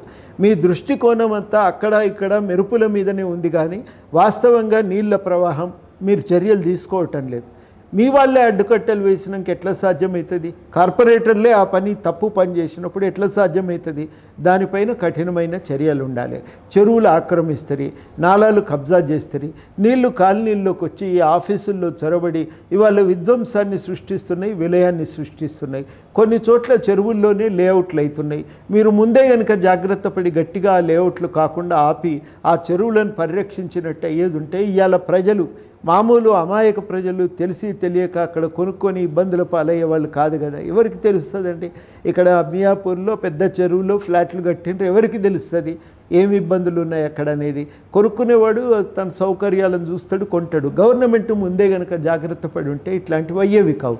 ఇగో ఇవి నా దృష్టిలో ఈ మౌలిక సదుపాయాల మీద గవర్నమెంట్ దృష్టి పెట్టాలి. ఖైరతాబాదు అక్కడ హుస్సేన్ సాగర్ ఒడ్డున ఉంటుంది. అక్కడ వరద వస్తే ఆ చెరువులకు పోవటానికి మనం ఏర్పాటు చేసుకోలేమా? కానీ రాజ్భవన్ అనేది నడుంలోతు నీళ్ళల్లో మునిగిపోతున్నదంటే ఎంత దురదృష్టకరమైన పరిణామం. చుట్టూ పెద్ద మనుషులు ఉంటారు. ముఖ్యమంత్రి అవతలు ఉంటాడు ఇవతల రాజ్భవన్ ఉంటుంది ఇటు సెక్రటేరియట్ ఉంటుంది అటు అసెంబ్లీ ఉంటుంది. వీటి నడుమ నడుంలోతు నీళ్ళు నిలుస్తున్నాయంటే ఏంది మనం చేసిన పని? ఏ అందమైన సెక్రటేరియట్ కావాలి కానీ ఆ సెక్రటేరియట్ పక్కన నీళ్ళు వచ్చి నిలిచిపోతుంటే మనం దాని మీద దృష్టి పెట్టాం. ఇవన్నీ కేసీఆర్కి తెలుసు కదండి. చాలాసార్లు తెలంగాణ ఉద్యమంలో మీ. పక్కన మీ పక్కన కూర్చొని చాలాసార్లు అన్నాడు. చెప్పి ఉంటారు కదా. మరి సిక్స్ ఇయర్స్ అయిపోయింది ఎందుకు పరిష్కారం కాలేదు? ఆయనకి అప్పటికే గెలుపు కోసం మాట్లాడాడు. మేము చాలాసార్లు అనేవాళ్ళం. కొన్ని డిమాండ్లు లేవనెత్తుతున్నప్పుడు మేము చెప్పేవాళ్ళం ఇది కరెక్ట్ కాదండి. మీరు అంటున్నారు కానీ మరి ఇబ్బంది అవుతుందేమో అని. ఏం కాదు చేయొచ్చు నేను చేసి చూపిస్తా అంటుండేది. రెండు సార్లు మూడు సార్లు అని నాలుగోసారి మనం ఊరుకుంటాం కదా అది వాళ్ళ పార్టీ వ్యవహారం అని ఊరుకుంటాం. అట్లా చాలాసార్లు చేసేవాడు. ఇలా ఆయన అడ్డగోలు హామీలు ఇలా ఆయన కూరేస్తున్నాయి. ఇలా ఆయన నోటి మాట నోరు కట్టేస్తున్నాయి. ఆయన ఇలా మాట్లాడలేని పరిస్థితి తీసుకొచ్చినాయి. ఎందుకు చెప్పాలి? డల్లర్ చేస్తాను ఇస్తానుబుల్ చేస్తాను. ఎవరు అనమన్నారు ఎవరు అనమనిలే హైదరాబాద్ హైదరాబాద్ ఉండాలని కోరుకుంటాం కానీ ఇస్తాన్బుల్ కావాలి న్యూయార్క్ కావాలి డాలస్ ప్యారిస్ లండన్ కావాలని ఎవరం హైదరాబాద్ లాగుంటే చాలు. వెనకటికి హైదరాబాద్ ఎంత ఆహ్లాదకరంగా ఉండేనో అట్లా ఉంటే చాలు. మనం కోరుకునేది హైదరాబాదు ఆహ్లాదకరంగా ఉండాలి. ఆనందమయమైన జీవితాన్ని పొందటానికి వీలుగా ఉండాలి. వానబడ్డ వరపైన వచ్చి పోయేటట్టుగా. నిజామేసిన పట్టణము నిజాం అభివృద్ధి చేసిన పట్టణంలో ఈ రోజుకి కుండపోత వానబడ్డా మీరు పోతే ఎక్కడ మీకు ఆటంకాలు రావు. సాఫీగా మీ ఇంటికి మీరు వెళ్ళిపోవచ్చు. ఇవాళ మీరు ఎందుకు చేయలేకపోతున్నారు? దానిపైన మీరు దృష్టి పెట్టాలి. మౌలిక సదుపాయాలు. మూడోది ఏంటంటే ఇక్కడ చాలా కీలకం విద్యా వైద్యం. ఇవి రెండు ఉచితంగా పేద ప్రజలు మధ్యతరగతి ప్రజలు పొందటానికి కావలసినన్ని స్కూళ్ళు కావలసినటువంటి ఒక బస్తీ వైద్యశాల పెడితే ఎంత సౌకర్యంగా ఉంటుంది? మా ఇంటి దగ్గర లాలాపేటలో బస్తీ వైద్యశాల పెట్టిన ఎంత బాగుంటుంది? మేము పోయినాం పరీక్షలు చేయించుకోవాలనుకున్నప్పుడు చేయించుకోగలిగినాం. మంచి చూస్తే నాకు చాలా సంతోషం అనిపించింది. మా చిన్నప్పుడు కదా దేనికైనా గవర్నమెంట్ ఆసుపత్రికి పోయినప్పుడు ఇవాళ ప్రతి ఒక్కరు అక్కడికి పోతున్నారు వైద్యం పొందుతున్నారు. అది కదా మనం కోరుకునేది. అట్లాంటివి మనం ఇవాళ సాధించుకోవటానికి ప్రయత్నం చేద్దాం.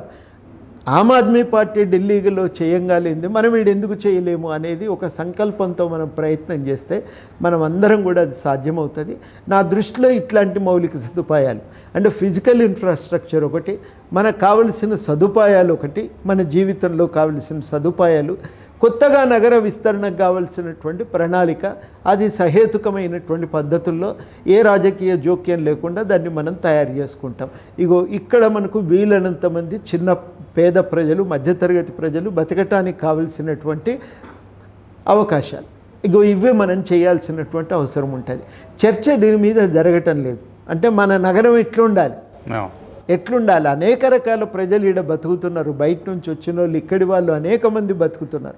వాళ్ళ సంస్కృతిని ప్రతిబింబించాలి. వాళ్ళకు బతుకుదెరువు ఉండాలి. వాళ్ళకు ఒక ఆహ్లాదకరమైన వాతావరణంలో జీవించడానికి పొద్దున్న లేస్తే దోమలు కోతుల బెడద ఇంట్లోకి వెళ్ళి బయటకు అడుగు పెడితే కోతులు వస్తాయేమో అనే భయంతో ఏది తలుపు తీసుకోలేని పరిస్థితి. ఎందుకు ఉండాలి ఇట్లాంటి వాతావరణం? ఇగో ఇది మనం చర్చ చేయాల్సినటువంటి అంశం. మతం అక్కర్లేదంటే తప్పనిసరిగా పక్కన గుడి ఉండాలి పొద్దున్న లేస్తే మొక్కటానికి సౌకర్యం ఉండాలి ఆడు పంతులు ఎవరి వ్యక్తిగతం అది. అదే వాళ్ళు చూసుకుంటారండి. మంచి ప్రవచనాలు ఇక్కడ ఎన్టీఆర్ స్టేడియంలో వచ్చి భాగవతం నాలుగు రోజులు సప్తాహం చదివితే ఇంట్లో కూర్చొని అందరం విన్నాం. చాలా సంతోషపడ్డాం. చాగంటి గారు చాలా అద్భుతమైనవి అవి ఆయన చెప్తారు కదండి మీకెందుకు దాంట్లో జోక్యం అని చెప్పి నేను అంటున్నా. అండ్ మీ పార్టీ రోల్ ఏంటి? గ్రేటర్ ఎలక్షన్స్లో ఎట్లా ఉంది? క్యాండిడేట్స్ ఎంతమందిని నిలబెట్టారు? ఎట్లా మీ అంచనా ఏంటి? పెద్దగా ఏదో మేము చేయగలుగుతాం. ఎంత చేయగలుగుతామో మేము కూడా అంత మా పరిమితులు ఉన్నాయి మాకు కొంత. కానీ ఒకటి మాత్రం వాస్తవం. ఈ ఎజెండాను కొంత ప్రభావితం చేయగలుగుతామని నేను అనుకుంటున్నా. మేము ఏం చేసినా చేయకపోయినా తప్పనిసరిగా ఈ ఎజెండా మీద చర్చ చేస్తాం. దాన్ని చాలా బలంగా దాన్ని చర్చలో తీసుకురావడానికి ఒక ప్రయత్నం చేస్తాం. అది మేము ప్రధానంగా అనుకున్నాం. రెండోది ఏంటంటే మనం ఈ అక్రమాలకు పాల్పడద్దు. మనం జాగ్రత్తగా ఒక పద్ధతి ప్రకారం ఈ ఎన్నికల్లో పాల్గొందాం ప్రచారం చేద్దామని కూడా అనుకున్నాం. పరిమితంగా చేసినా ఒక పద్ధతిగా చేసి ప్రయత్నం చేద్దామనేది. ఒక మార్పు అయితే నేను చూస్తున్నానండి మధ్యతరగతిలో పేద వర్గాల్లో ఈ ఏం రాజకీయాలు అనేది విసుగైతే ఒకటి కనబడుతుంది. ఇది పోవాలి ఇట్లా ఉండకూడదు. ఏదన్నా భవిష్యత్తులో ఇంకొక రకంగా నిస్వార్థంగా పనిచేసే వాళ్ళు ఎవరన్నా వచ్చి పనిచేస్తే బాగుండును అనే అభిప్రాయం ఒకటి చాలా బలంగా ఉన్నది. అట్లాంటి ఒక మార్పు కోసం అయితే ప్రయత్నం చేయాలనేది ఉంది. ఎంత మేరకు విజయవంతమవుతామో చూడాలి. పొత్తులు అవి ఎందుకు ఈసారి పెద్ద చర్చలోకి రాలేదు? కలిసి వచ్చే పార్టీలు ఇట్లాంటి వాళ్ళతో కొంత చర్చ అట్లాంటి అసలు ఏం జరిగినట్లేదు. ఎందుకంటే కనీసం లెఫ్ట్ పార్టీలు లాంటి వాళ్ళు కూడా ఎందుకు కూడగట్టలేకపోయారు ఈసారి? అంటే వాస్తవానికి మేము ఆ కోవిడ్ తదనంతరం ఇంకా లాక్డౌన్ ఎత్తేసిన తర్వాత చాలాసార్లు కో వైద్యం కావాలి బతుకుదెరువు కావాలని ఆందోళనలు చేసినాం. అప్పుడు అందరినీ కలుపుకొని చేసినాం. కాంగ్రెస్తో కూడా కొన్ని కార్యక్రమాలు చేసినాం కలిసి. తర్వాత అట్లాగే టీడీపీతోని సిపిఐ సిపిఎం న్యూ డెమోక్రసీ మిగతా వామపక్షాలతో కూడా కలిసి చేసినాం. తర్వాత ఒక ఆలోచన ఏముండేనంటే ఇదే ప్రచారాన్ని బస్తీ దాకా తీసుకుపోవాలి. బస్తీ దాకా తీసుకుపోయి బస్తీల్లో ఇంకా కొంత సంఘటితపరిచి ఆ, ఎప్పుడూ ఎప్పుడో వెనకటికి వెంకటస్వామి గారు ఉన్నప్పుడు పేద ప్రజల అవసరాలు ఇక్కడ బస్ పట్టణ రాజకీయాల్లో ప్రధానంగా ఉంటుండేది. మళ్ళీ ఒకసారి అట్లాంటి ప్రయత్నం చేద్దామని చాలా సీరియస్గా అనుకున్నాం. ఒక ఇరవై ఇరవై ఐదు చోట్లనే మనం కాన్సన్ట్రేట్ చేద్దాం. బస్తీల్లో మనం మే నుంచే ఒక సీరియస్ ప్రచారం చేద్దాం. కరెంటు బిల్లుల మీద బతుకుదెరువు అవకాశం పోయి ఇబ్బంది పడుతున్న ప్రజల హక్కుల గురించి ఇట్లాంటి వాటి మీద కోవిడ్ వైద్యం గురించి మనం ప్రచారం చేద్దామని అనుకున్నాం. దానికి ఓ ప్రోగ్రాం కూడా తయారు చేసుకున్నాం. మళ్ళీ ఏమైందంటే ఆ తర్వాత ఎవరి తొవలో వాళ్ళు వెళ్ళిపోవటం ప్రారంభించారు మా మట్టుకు మేము ఆ ప్రయత్నం అయితే సీరియస్గానే చేసినాం. ఇక అది సాధ్యపడతలేదు. మళ్ళా ఇవాళ కాకపోతే రేపటికైనా సాధ్యం కాకపోతుంది అనే ఆశతో ఉన్నాం. ప్రస్తుతానికి ఈ పరిస్థితుల్లో ఇక ఒంటరిగా చేద్దామనేది తప్ప ఇంకో మాకు ఇంకో ఆలోచన లేదు. కుదిరితే లోకల్ లెవెల్లో కోఆర్డినేషన్. అందులో టైం లేదు. కొంచెం టైం దొరికితే ఆలోచించుకోవటానికి వాస్తవానికి మేము అప్పుడు ముఖ్యమంత్రి గారి నివాసం ఎదుట ఏదైతే నిరసన కార్యక్రమం చేసినామో ఆ కార్యక్రమాన్ని కొనసాగించి ఉంటే ఒక మంచి ఎజెండాను సెట్ చేసి ఉండేవాళ్ళం. ఇవాళ అది చేయలేకపోయినామనే బాధ అయితే ఉంది. ఏంటి గ్రేటర్ ఎలక్షన్స్లో ప్రధాన ద్విముఖ పోట త్రిముఖ పోట టీఆర్ఎస్ వర్సెస్ బీజేపీయా టీఆర్ఎస్ వర్సెస్ కాంగ్రెసా టీఆర్ఎస్ వర్సెస్ బీజేపీ కాంగ్రెసా ఇట్లా మీ అంచనా ఏంటి? పెద్ద పార్టీలతో చూసుకున్నప్పుడు. అట్లా అంత పార్టీలు అట్లేం చూస్తలేరండి. ఎక్కువ వరకు అభ్యర్థిని చూస్తారు లోకల్. అభ్యర్థికి కొంత పార్టీలు తోడైనప్పుడు లాభం అవుతుంటుంది అట్లా అభ్యర్థులే ప్రధానంగా ఉన్నారు దీంట్లో. ప్రత్యామ్నాయం మేమే అంటే మేమే అనే ఒక వాదులాట జరుగుతోంది కదా. అట్లా ఎలివేట్ అయ్యే అవకాశం ఉందంట కొత్త ఇండిపెండెంట్లు కూడా ఆడ గెలిచే ఛాన్స్ ఉంది. దుబ్బాక కీలకమైన సమీకరణాలు ఆ, కోదండరామ్ గారు మొత్తం మార్చేసినట్టు కనపడుతుంది వాతావరణం. అది చాలా రోజులుగా వాతావరణం మారుతుంది. ఒక దాదాపు నాకు తెలిసి ఇది మే నెల నుంచి మారుతూ వచ్చింది. అసంతృప్తి పెరుగుతుంది. నాకే ఆశ్చర్యం అనిపించింది. అంతకుముందు మీరు ఎక్స్పెక్ట్ చేశారా ఏదైనా ఇట్లాంటి రిజల్ట్? మొత్తానికి కష్టంగానే ఉంటుంది అనేది ఒక అంచనా ఉంది టీఆర్ఎస్కి. ఉండే. కాకపోతే వాళ్ళు ఆ అహంభావాన్ని వదిలి జాగ్రత్త పడితే కొంచెంగా చావు తప్పి కన్నులో. ఉండేది కానీ ఒక విపరీతమైన అహంభావం కదా ఆ నాయకులకి. వాళ్ళు మనుషుల్ని ఎదుటి వాళ్ళు మనుషుల్లాగా కనబడరు. అసలు సాటి వాళ్ళు ఎవరు మనుషుల్లాగా కనబడరు. ఆస్తులు ప్రతి మనిషి లోపల ఒక ఆస్తిని చూస్తారు అధికారాన్ని చూస్తారు తప్ప ఒక మానవతా దృక్పథంతో సాటి మనిషి అనే ఆలోచన లేని వాళ్ళు కదా. ఇక వాళ్ళకి ఎట్లాంటిదే అనుభవిస్తారు. ప్రతి ఒక్కరు ఒక కోపంతో ఉన్నారు. కావాలి ఒకసారి ఓడగొట్టాలి. అది ఎక్కడ పోయినా ఇదే. ఓసారి ఓడిపోవాలి సార్. ఎవరు అంటారు ఈ మాట అంటే? ఆ పార్టీ సభ్యులు అంటున్నారు. ఓసారి మా వాళ్ళకి బుద్ధి చెప్పాలి సార్. అందరం కలిసి ఏమైనా చేద్దామని అంటారు. అది నాకు చాలా ఆశ్చర్యం అనిపిస్తుంటుంది. అది పక్కనున్నోడి వాళ్ళ పక్కనే కూర్చుంటుండు గద్దె దిగంగానే అంటుండు మా వాళ్ళకి ఒకసారి బుద్ధి పెట్టి బుద్ధి చెప్పాలి సార్ వాళ్ళ గట్టిగా చెప్పాలి మనం అని అంటుండ్రు. ఇంత రాజకీయ చైతన్యం దుబ్బాక చూపిస్తుంది అనే ఒక భావన మీకు ఎప్పుడు ఎప్పుడు కలిగింది అసలు? అది ఎట్లా అనిపించింది? అంటే ఆది నుంచి కూడా దుబ్బాక వేరట. అది తెలంగాణలో ఒక అద్భుతమైన రాజకీయ చైతన్యం కలిగిన ప్రాంతం.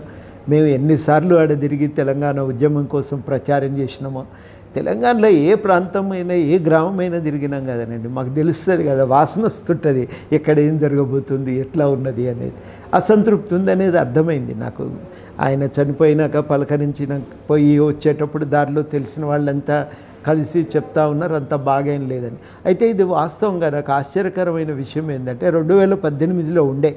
కానీ అప్పటికి టీఆర్ఎస్ మేనేజ్ చేసుకోగలిగింది. రెండు వేల పద్దెనిమిదిలో కూడా ఇట్లానే ఉండేది. కానీ అది అభ్యర్థుల మీద వ్యతిరేకతగా ఉండే ఇప్పుడు మాత్రం అది పార్టీ నాయకత్వం మీద వ్యతిరేకతగా మారింది అది. ఈ మార్పు వాళ్ళు చూ అర్థమైతలేదు వాళ్ళకి ఎందుకు ఇట్లా జరిగిందనేది వాళ్ళకి అర్థమైతలేదు. సమూ ఆమూలంగా ఆశాంతము అన్ని విషయాల్లో వాళ్ళు మార్చుకోవాలి. మారుతారని నాకు నమ్మకం లేదు. అందుకని ఆ పార్టీ నిలబడటం కూడా ఈ ఈ వాతావరణంలో పార్టీ నిలబడటం చాలా కష్టం. అంటే దుబ్బాక పోస్ట్ మార్టం ఇంత వాతావరణం వచ్చినా కూడా టీఆర్ఎస్లో ఆ మైండ్ సెట్లో మారదని అనుకుంటున్నారా మీరు? కేసీఆర్ అంటే ఎన్నికల మేనేజ్మెంట్ ఏడ తప్పు చేసినాం అనుకుంటున్నారు కానీ. పార్టీతో మనకున్న సంబంధాలు ఏడ చెడినాయి అనే విషయాన్ని ఆలోచిస్తలేరు. అంటే అదే ముఖ్యమంత్రి కూడా షాక్ తిన్నారు దుబ్బాకలో. కానీ ప్రభుత్వం మీద వ్యతిరేకత లేదు కానీ ఎక్కడో ఏదో తేడా వచ్చిందని ఏదో మాట్లాడారు అన్నట్టుగా నేను కూడా విన్నాను. అంటే వాళ్ళ థింకింగ్ అట్లా లేదు ఆయన ఏమనుకుంటున్నారంటే పింఛన్లు ఇన్ని ఇచ్చినాము రైతు బంధు ఇంతమందికి ఇచ్చినాము ఇది కలిస్తే ఇది కలిస్తే రెండు రెండు నాలుగు అనుకుంటుండు. కానీ ఆయనకు అర్థం కాని విషయం ఏంటంటే రాజకీయాల్లో అట్లా ఉండవు. రెండు ప్లస్ రెండు నాలుగు ఎప్పుడు ఉండదు అట్లా. ఒక్కోసారి మూడు అవుతుంది ఒకసారి ఆరు అవుతుంది ఒకసారి పది కూడా కావచ్చు. కానీ ఈసారి మాత్రం రెండు ప్లస్ రెండు సున్నా అయింది. అది వాళ్ళకి అర్థం కావాలి. పింఛన్లతోనే అందరూ ఓటేయరు కదా. వాళ్ళ ఇంట్లో అబ్బాయికి ఉద్యోగం రాకపోతే ఓ కొడుకు ఉన్న ప్రైవేట్ కాలేజ్ ఉద్యోగం పోయి తినటానికి తిండికి తిప్పలు పడుతూ రోజు ఉపాధి హామీకి పోతుంటే ఆ అవ్వను బతిన్లాడుకోడా నువ్వు ఈసారి వేయకని. అది ఆయనకు అర్థమవుతలేదు ఇల్లు అనేది ఒక సమగ్రమైన యూనిట్ అది. ఒక్క పింఛన్ వల్ల ఇంత ముప్పై లక్షల పింఛన్లు ముప్పై లక్షల ఓట్లు పడ్డాయి. నేను గెలవాలి కదా అని లెక్కలేస్తుండు. ఆ లెక్క తప్పది అట్లా ఉండదు అది ఓట్లను అట్లా లెక్క పెట్టుకోవటం అమానుష్యం అవుతుంది వంకాయలు కూరగాయలు జోకినట్టు అట్లా జోకుతారు అనుకుంటే అది కరెక్ట్ కాదు. ఈ- దుబ్బాక ఓటమి కేసీఆర్దా కేటీఆర్దా హరీష్ రావుదా? లేకపోతే ఓవరాల్గా మొత్తం టీఆర్ఎస్ పార్టీదా? ఎట్లా ఏ కోణంలో పార్టీ అధినాయకత్వం యొక్క వ్యవహార శైలి విధానాలు రాజకీయాల పట్ల వాళ్ళకున్న అవగాహన ఇవన్నీ వెరసి. పార్టీ అధినాయకత్వం కేసీఆర్ కుటుంబం దానికి బాధ్యత వహించాలి. ఇంకా దాంట్లో మినహాయింపు ఈయన ఎక్కువనా ఆయన ఎక్కువనా అంటే ఎవరు ఎక్కువ ఎవరు తక్కువ అనేది నా దృష్టిలో అంత ముఖ్యం కాదు. ఆ కుటుంబం ఆ పార్టీని నడుపుతుంది రాష్ట్రాన్ని నడుపుతుంది. అది వాళ్ళు సమగ్రంగా ఈ బాధ్యతను వాళ్ళ నెత్తినే వేసుకోవాలి. ఎందుకు కేసీఆర్ కేటీఆర్ దుబ్బాక వెళ్ళలేదు? కోదండరామ్ గారు ఎందుకు హరీష్ రావు భుజాల మీదనే పెట్టేశారు మొత్తం దుబ్బాకని. ఈ రాజకీయ వ్యూహమా? ఏదైనా దీని వెనక ఏదన్నా ఏదైనా కుట్రలాంటిది ఏమైనా ఉందా? ఏదైనా ఇంకా తెలియని హ్యాంగిల్ ఏదైనా ఉందనుకోవచ్చా? ఇప్పుడు అధికారాన్ని వాళ్ళు చెలాయిస్తున్న పద్ధతిలో ఏమవుతుందంటే సహజంగానే కుట్రలు ఎక్కువైతుంటాయి. అదే రా- రాజ రాజ వ్యవ- రాచరిక వ్యవస్థ నడిపినట్టు నడుపుతున్నారు. సహజంగానే ఇబ్బందులు వస్తాయి కదా. ఆ ఇబ్బందుల్లో ఇవన్నీ మరి సమస్యలే కదా. అది ఇవాళ మనం గ్రహించాలి. అప్పుడు ఏమవుతుందంటే రాచరిక వ్యవస్థలో మార్పు అనేది ఒకరిని చంపి ఇంకొకరు గడ్డెకెక్కాలి. ఇక్కడ ఒకరిని రాజకీయంగా అతం చేస్తే తప్ప ఇంకొకరికి బలం విస్తరించదు. ఆ పోటీ అయితే ఉంది. ఆ పార్టీ స్వభావరీత్యా అట్లాంటి పోటీ అనేది ఒక కుటుంబ కలహం అనేది ఉంది. మరి అది ఎట్లా పనిచేసింది అనేది మనం ఏమన్నా తొంగి చూస్తావా మనకు తెలియదు కానీ మొత్తం మీదనైతే ఏదో ఒక కుటుంబ కలహం అనేది ఇవాళ ఈ ప్రచారము వాటన్నింటిపైన ప్రభావాన్ని చూపిందనేది మనం అర్థం చేసుకోవాలి. హరీష్ రావు ఎలిమినేషన్కి ఫస్ట్ స్టెప్ దుబ్బాక అట్లా ఏమైనా ఆలోచించవచ్చా ఇక అంత మనం అట్లాంటి విశ్లేషణకు పోవటము అంటే స్థూలంగా ఆ కుటుంబంలో ఉన్న విభేదాలు అనేవి తప్పకుండా ఉన్నాయి. అది మనం కాదనలేని వాస్తవం. ఆ విభేదాలకు కారణం ఏంటంటే అది ఒక రాచరిక పాలనలాగా ఉంది వాళ్ళ పరిపాలన అనేది. అట్లాంటి రాచరిక పాలనలో ఇట్లాంటి ఘర్షణలు అనేవి చాలా సహజము. ఆ ఘర్షణలు ఉన్నాయి. ఆ ఘర్షణల్లో ఒకరి మీద ఒకరు కత్తి దూసే ఉన్నారు. ఆ కత్తి ఎవరిని ఎవరు ఎప్పుడు ఎవరి మీద ఎట్లా ప్రయోగిస్తారనేది వాళ్ళ అంతర్గతంగా వాళ్ళ ఆలోచనలు ఉన్నాయో వాళ్ళ మరి ఆ అవగాహన ఏముందో అవన్నీ దానిపై నేను ఎప్పుడూ ఎక్కువగా దృష్టి పెట్టలే. మొత్తం మీద ఘర్షణ అయితే ఉన్నది. ఇప్పుడు ఏమనుకుంటున్నారు? ముఖ్యమంత్రి కావాలని కేటీఆర్ గారికి ఉంటుంది కాబట్టి హరీష్ రావు తొక్కితే బాగుండు అనుకుంటాడు. హరీష్ రావుకి ఏముంటుంది తనను తాను బతికించుకోవాలి పార్టీలో తన అధికారాన్ని నిలబెట్టుకోవాలని ఉంటుంది. కాబట్టి ఓ ఘర్షణ ఉంది. ఆ ఘర్షణ చాలా తీవ్రంగానే ఉంది మామూలుగా ఏం లేదు. సహజంగా పోతే పోని పార్టీ పోయినా మంచిదే హరీష్ రావు పేరు దెబ్బ కొట్టాలని కేటీఆర్కి ఉండదా ఉంటుంది. కానీ అది ఎట్లా పనిచేసింది? మనకు ఆ లోతుపాతులు లోపలగా జరిగిన విషయాలు మనకు తెలియవు అంతే తేడా. సహజంగా బై ఎలక్షన్స్ జరిగితే చాలా చోట్ల చాలా పెద్ద ఎఫర్ట్స్ పెట్టారు. మొత్తం మంత్రివర్గం వెళ్ళడం మొత్తం వ్యవస్థ అంతా తరలి వెళ్ళడం ముఖ్యమంత్రి వెళ్ళి ప్రచారం చేయడం. హుజూర్ నగర్లో మనం చూసాం ఎంత పెద్ద అడావుడి హంగామా జరిగిందో. దుబ్బాకలో ఎందుకు హంగామా మిస్ అయింది అనే డౌట్స్ చాలా మందిలో ఇప్పుడు వస్తున్నాయి. ఓ గెలిస్తే రాకపోవచ్చు ఓడిపోయింది కాబట్టి చాలా మందికి చాలా చాలా డౌట్స్ వస్తున్నాయి. అది అది. ఒకటేందంటే వాళ్ళు ఒక విషయాన్ని మనుషులంటే లెక్కలేని తనం అని అన్నాం కదా. మన మన మన ఇంటెనక వ్యవహారం కదా దీంట్లో ఇంత మనదే మనదే కదా మన మనని కాదని ఇటు పోతారు అనేది ఒకటి అహంభావం. అయి ఉండొచ్చు. లేదంటే పోతే పోని ఆయన మొయ్యని ఆయన నిజంగానే గొప్ప వ్యక్తి అనే పేరు వచ్చింది కదా విన్నర్ అనే పేరు వచ్చింది కదా. కాబట్టి ఈసారి ఆ పేరు దెబ్బతింటే మనకు లాభం అనే ఆలోచనతో వదిలేసిండ్రు. ఏదైనా కావచ్చు. కానీ ఏదైనా ఒక అప్రజాస్వామిక ధోరణి అవలంబించటం వల్ల జీర్ణించుకోవటం వల్ల దాన్ని తమ కార్యాచరణకు మార్గదర్శకం చేసుకోవటం వల్ల కలుగుతున్నటువంటి పరిణామం అది. దుబ్బాక బీజేపీ గెలుపులాగా చూడాలా? లేకపోతే టీఆర్ఎస్ వ్యతిరేక శక్తుల గెలుపులాగా చూడాల్సి వస్తాయి ఎట్లా? దాన్ని విశ్లేషణ. నా అంచనా అయితే ఇప్పటికీ ఇది టీఆర్ఎస్ వ్యతిరేక ఓటుగానే చూడాలి. బీజేపీ ఇప్పటికీ మనం అనటానికి వీల్లేదు. ఓడగొట్టాలనే కోపంతో టీఆర్ఎస్ వాళ్ళు వేసిండ్రు. కొంత కాంగ్రెస్ కూడా కొంతమంది వేసి ఉండొచ్చు. అందరు వేసిండ్రని మనం అనగానే కొంతమంది వేసిండ్రు. ఇక ఎట్లాగూ మామూలు న్యూట్రల్గా ఉన్న ప్రజలు కూడా వేసిండ్రు. సరే కోదండరామ్ గారు దుబ్బాకలో గెలిచాం కాబట్టి ఇక ప్రత్యామ్నాయం మేమే అనే వాదనని బీజేపీ ముందుకు తీసుకొస్తుంది. దాన్ని ఎట్లా చూడాలి? రెండోది Raghunandan Rao victory or BJP victory? మళ్ళీ అక్కడ కూడా చర్చ జరుగుతుంది. మీరు ఏ కోణంలో చూస్తారు అక్కడ అది? అట్లా అనటం కంటే కూడా అంటే అది దాన్ని ఆ వివాదం జోలికి నేను పోదలుచుకోలేదు. మొత్తం మీదనైతే ఒక టీఆర్ఎస్ వ్యతిరేకత అనేది ఉంది. ఆ వ్యతిరేక ఓటే అనేది మనం నిస్సంకోచంగా ఎవరు బలంగా ఉన్నారు గెలవగలరు స్థానికంగా ఉండే అభ్యర్థి ఇవన్నీ కూడా ప్రభావం చేసినాయి. దాంట్లో వేరే ఇంకా రెండో అభిప్రాయం అవసరం లేదు. ఇక్కడ నుంచి ఇదే ప్రత్యామ్నాయం కాగలదా అంటే తప్పనిసరిగా దుబ్బాక ఎన్నిక అనేది ఇక టీఆర్ఎస్ శకం ముగిసినట్టే అనే దానికి సం సంకేతం అది. ఇది ఎటు దారి తీస్తుంది అనేది చాలా ప ప- అంశాల మీద ఆధారపడి ఉందండి. తెలంగాణలో ఉన్న అనేక అనేకమైన శక్తులు అవి వాళ్ళు ఎట్లా ప్రతిస్పందిస్తారనే దాని మీద ఆధారపడి ఉంటుంది. వివిధ రాజకీయ పార్టీలు తమ వ్యూహాలను ఎట్లా వేసుకుంటాయనే దాని మీద ఆధారపడి ఉంటుంది. జాతీయ పరిణామాల మీద కూడా ఆధారపడి ఉంటుంది. వాటన్నింటి మీద ఆధారపడి ఉంటుంది. ఇప్పుడు చివరాఖరికి టీఆర్ఎస్ ప్రతిస్పందన ఎట్లా ఉంటుంది అనేది కూడా చూడాలి కదా. ఇప్పటివరకు బీజేపీని ఒక రకంగా చూసాను రేపు ఎట్లా చూస్తారనేది కూడా మనకు తెలియదు. కాబట్టి ఇన్ని శక్తుల యొక్క ప్రతిస్పందనను బట్టి భవిష్యత్ అనేది నిర్మాణం అవుతుంది. అందుకని ఇప్పటికే తొందరపాటుగా ఒకటి అయిపోయింది అనటానికి కూడా వీల్లేదు. అంటే కాంగ్రెస్ పార్టీ రోజు రోజుకు కుచించుకుపోతుందనే ఒక అభిప్రాయం బలపడుతుంది. మీకు అట్లా ఏమైనా కనపడుతుందా? లేకపోతే రాజకీయాల్లో ఇవన్నీ సర్వసహజం అనలాగా చూడొచ్చు అంటారా అది ఎందుకో అభిప్రాయం అయితే చాలా బలంగా వచ్చిందండి. ఎక్కడ పోతే కూడా మామూలు ప్రజలు కాంగ్రెస్ సానుభూతి పట్ల కూడా ఏమంటున్నారంటే ఇంకా కాంగ్రెస్ లేవదు అని అంటున్నారు లేవదండి ఇక కాదు కాంగ్రెస్తో అని. నాకే చాలా ఆశ్చర్యం అనిపించింది. మా వాళ్ళు చేయలేరు కానీ మీరన్నా చేయండి అన్న సందర్భాలు కూడా చూసాను నేను. కొంత పార్టీ వాళ్ళు త- తమ పాత్రను తాము సరిగ్గా ఎన్నికల ముందు కానీ ఎన్నికల తర్వాత కానీ సరిగ్గా నిర్వచించుకోలేదని అనిపిస్తుంది. ఇప్పటికైనా సీరియస్గా దృష్టి పెట్టి తమ పాత్ర ఏంటిదనేది ఆలోచించుకోవాలి నిర్వచించాలి. ఏంటి ఏంటి కారణం ఏమనుకుంటున్నారు? మెయిన్ రీజన్ నాయకత్వ లోపమా లేకపోతే ఎక్కువ మంది నాయకులు కావడం వల్ల వచ్చిన ప్రమాదమా లేకపోతే కాంగ్రెస్ పాలిటిక్స్ మీద దేశవ్యాప్తంగా వచ్చిన ఓ చిన్నపాటి ఏవగింపు ఏమైనా కారణమై ఉంటుందంటారా? అంటే ఇదివరకు అయితేనేమో కాంగ్రెస్ ఢిల్లీలో ఒక ఇన్ఫ్లుయెన్స్ ఉండేది. అది తగ్గటం ఒక కారణం. రెండోది ఏంటంటే గెలిచిన వాళ్ళందరూ పార్టీ ఫిరాయించారు. దాంతో నమ్మకం పోయింది. మూడోది అంతర్గత కలహాలే కానీ వీళ్ళు పార్టీని డెవలప్ చేయాలని దృష్టి లేదు వీళ్ళకు అనే అభిప్రాయం కూడా బయట వచ్చింది. ఇవన్నీ కూడా వాళ్ళు ఒక ప్రత్యామ్నాయం నిర్మించగలిగే శక్తి తెలంగాణలో వాళ్ళకుంది వాస్తవానికి. చాలాసార్లు మేము కూడా రెండు వేల పద్దెనిమిది అయితే కలిసే నడిచినాం కదా వాళ్ళతోని. ఆ నిర్మించే క్రమంలో అందరినీ ఇముడ్చుకోవాలి కలుపుకపోవాలి. ఆ విషయంలో ఆ పార్టీ మరి ఆలోచించుకోవలసి ఉంది తన వ్యూహాన్ని. ఏదైనా పార్టీ ఓడిపోయిన తర్వాత చాలా బాధ్యత ఉంటుంది.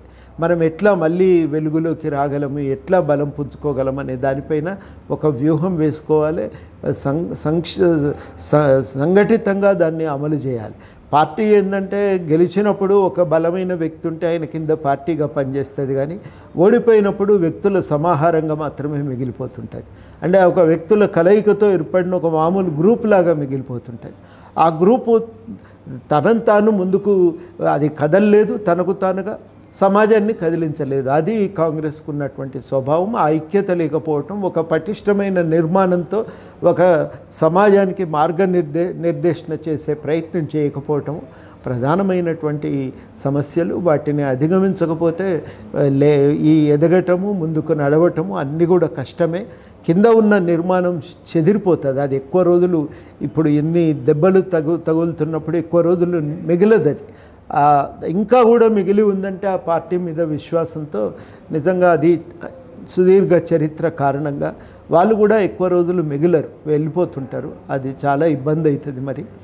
తప్పనిసరిగా ఇవన్నీ ఇక వాళ్ళు ఏం ఆలోచించుకుంటారో అది మేము మనం బయట నుంచి చెప్పలేం కానీ నాకు కనబడ్డ విషయాలు నేను విన్న విషయాలు వాళ్ళు వీళ్ళు చెప్తుంటే విన్న విషయాలు మీ దృష్టికి తీసుకొస్తాను అంటే కేసీఆర్ వ్యతిరేక భావజాలం కలిగిన నాయకులు లైక్ రేవంత్ రెడ్డి లాంటి వాళ్ళు ఏమన్నా పిసిసి అధ్యక్షుడు అయితే ఆ పార్టీకి మళ్ళీ ఏమన్నా కొంత ఊపు కానీ ఇదేమన్నా వచ్చే ఛాన్సెస్ కనపడుతున్నాయి అనుకోవచ్చు ఇంకా అంటే పార్టీ అంతర్గత విషయాల మీద నేను వ్యాఖ్యానించదలుచుకోలేదు. మొత్తం మీదనైతే పార్టీ తనకు తానుగా సీరియస్గా పునరాలోచించుకోవాలని మాత్రం చెప్పగలను. రైట్ ఈ ఎమ్మెల్సీ ఎలక్షన్కి సంబంధించి ఒక పెద్ద చర్చలు జరిగాయి కోదండరామ్ గారు. మీలాంటి వాళ్ళు పోటీ చేస్తే ఖచ్చితంగా మిగతా అన్ని భావజాలం కలిగిన పార్టీలు కానీ వ్యవస్థలు కానీ ప్రజా సంఘాలు కానీ అంతా ముందుకు వస్తారు మీకు బలాన్ని ఇస్తారు అనుకున్నాము. కానీ ఇప్పుడు అంతా గందరగోళ పరిస్థితి నెలకొన్నట్టుంది. ఎందుకు ఇంత గందరగోళం? ఎందుకు ఇంత ఎవరికి వాళ్ళు అన్నట్టుగా తయారైపోయింది పరిస్థితి? అంటే ఐక్యత రెండు స్థాయిల్లో ఉంటుందండి. ఒక్కొక్కసారి పైనుంచి నిర్మించుకోగలుగుతాం ఒక్కోసారి కింది నుంచి పెంపొందించుకోగలుగుతాం. ఐక్యత మీరు అన్నమాట నూటికి నూరు రూపాయలు పైనుంచి నిర్మించుకోలేకపోయినాం. అనేక కారణాలు ఉంటాయి నేను వాటి లోతుల్లోకి పోదలుచుకోలేదు విశ్లేషించదలుచుకోలేదు. కారణం ఏదైనా పైనుంచి ఒక ఐక్యత ఏర్పడుతుందనుకున్నాం కానీ అది సాధ్యపడలేదనేది నూటికి నూరు రూపాయలు వాస్తవం. కానీ కింది నుంచి ఐక్యత మాత్రం ఉన్నదండి. పార్టీలకు అతీతంగా కలుద్దాము చేద్దాము ఈసారికి. మన కోసం నిలబడ్డారు కదా కొట్లాడినారు కదా ఈసారి చేద్దామనే ఒక అభిప్రాయం అయితే దిగువన పార్టీలకు సిద్ధాంతాలకు అతీతంగా విస్తృతంగా ఒక అభిప్రాయం అయితే ఉంది. కింద స్థాయిలో మీకు అనిపిస్తుందా? కానీ మీతోటి తెలంగాణ ఉద్యమంలో పాల్గొన్న వాళ్ళు లేదు జర్నలిస్టులు అనుకున్న వాళ్ళు లేకపోతే రకరకాల వాళ్ళు పోటీలో నిలబడ్డారు. చీలికి ఏం రావట్లేదా? కేసీఆర్ వ్యతిరేక ఓటు చీలిపోయినప్పుడు మీలాంటి వాళ్ళకి నష్టం జరుగుద్దనే అభిప్రాయం వ్యక్తమవుతుంది కదా? కింద నుంచి ఐక్యత అయితే ఉన్నదండి. బాగా బలంగా ఉన్నది ఐక్యత. మీ వైపు పోలరైజ్ అవుతారనే నమ్మకం ఉంది మీకు? ఉన్నది. ఇప్పుడు నేను చూసిన దాన్ని బట్టి విన్న దాన్ని బట్టి ఇప్పటికైతే చాలా బలమైనగా కింద ఐక్యత ఉంది. ఇటు ఇటు చేసుకుందాం ఈసారి అనేది. మీరు అన్నట్టుగా కేసీఆర్ విధ ఇంతకుముందు నేను అన్నట్టుగా కేసీఆర్ విధానాల పట్ల ఒక వ్యతిరేకత ఉంది. ఆయన పాలన శైలి పట్ల ఒక వ్యతిరేకత ఉంది. అవన్నీ కలిపి ఒక ఒకవైపు మనం ఇది కరెక్టు ఇక్కడ పోతే బాగుంటుంది దీన్ని బలపరుచుకుంటే బాగుంటుంది అని ఒక ఐక్యతను ఒక దాన్ని కింద అయితే ప్రదర్శిస్తున్నారు. కానీ కోదండరామ్ గారు మీరు అందరికీ యాక్సెప్టెన్సీ ఉన్న నాయకులు తెలంగాణ విషయంలో మీ మీద ప్రేమ ఉంది గౌరవం ఉంది సానుభూతి ఉంది మీ మీద ఓప్స్ ఉన్నాయి జనానికి. అలాంటప్పుడు సాటి తెలంగాణ వాదులుగా చెప్పుకుంటున్న వాళ్ళు మీకు బలాన్ని ఇవ్వాలి కదా ఎందుకు వ్యక్తిగత ఎజెండాలతో ఇట్లాంటి కీలక సమయంలో వేరు వేరు శిబిరాలుగా తయారవుతున్నారు? రెండోది ముఖ్యమైన పార్టీలు కూడా లెఫ్ట్ పార్టీలు కానీ బీజేపీ అంటే వాళ్ళు అనౌన్స్ చేసినట్టున్నారు కాంగ్రెస్ ఇంకా అనౌన్స్ చేయకపోయినా ముఖ్యమైన పార్టీలు కూడా మీకు ఎందుకు చేదోడు వాదోడుగా నిలబడట్లేదు? మళ్ళీ దాన్ని విశ్లేషిస్తే అది ఓడవని అంశం. భిన్నమైన అభిప్రాయాలకు కూడా ఆస్కారం ఉంటుంది. అందుకని నేను ఆ విశ్లేషణ జోలికి నేను పోదలుచుకోలేదు. రకరకాల కారణాలు ఉంటాయండి ఒక్కొక్కసారి పార్టీలకు ఉండే తక్షణ ప్రయోజనాలు ఉంటాయి అంతర్గతంగా ఉండేటువంటి ఒత్తిళ్ళు ఉంటాయి. ఎవరో ఒకరికి ఏదో ఒక ఆశ ఉంటుంది. మనమే గెలుస్తామేమో అని ఆ పార్టీ నుంచి అట్లాంటి ఆశలు ఉంటాయి. కాబట్టి అవన్నీ కూడా కొంత పనిచేస్తాయి. పనిచేయని మనం అనుకోవద్దు. అట్లాంటి పరిణామాలు ఉంటాయి. కానీ ఇవన్నింటికి అతీతంగా కింద నుంచి మాత్రం ఏ పార్టీలో ఉన్నా ఏ సానుభూతి పరుడైనా ఈసారి మీకు చేస్తాం సార్ అని ఒక మాట అయితే అంటున్నారు. అది నాకు కొంత ధైర్యము కొంత బలాన్ని కూడా ఇస్తున్నది. ఐక్యత అవసరం. దాంట్లో రెండో అభిప్రాయం లేదు. మేము చాలా బలంగా నమ్ముతున్నా కూడా తెలంగాణ నిర్మాణం అనేది జయశంకర్ గారు పదే పదే చెప్పేవారు తెలంగాణ నిర్మాణం కోసం మళ్ళీ మనం కొట్లాడాల్సి వస్తుంది అని. అభివృద్ధి అనే మాట వారు వాడారు తెలంగాణ అభివృద్ధి కోసం కొట్లాడాలి. మనం ఇంకా అప్పట్లో తెలంగాణ రాకముందు ముచ్చట కదా ఆయన చనిపోయినప్పుడు కదా అంతకంటే వివరంగా ఆయన పోలేదు. తెలంగాణ అభివృద్ధి చెందాలి ఫలితాలు అందరికీ దక్కాలి. అంటే తెలంగాణ ఉద్యమాకాంక్షల వెలుగులో ఈ సమాజాన్ని మనం నిర్మించుకోవాలి.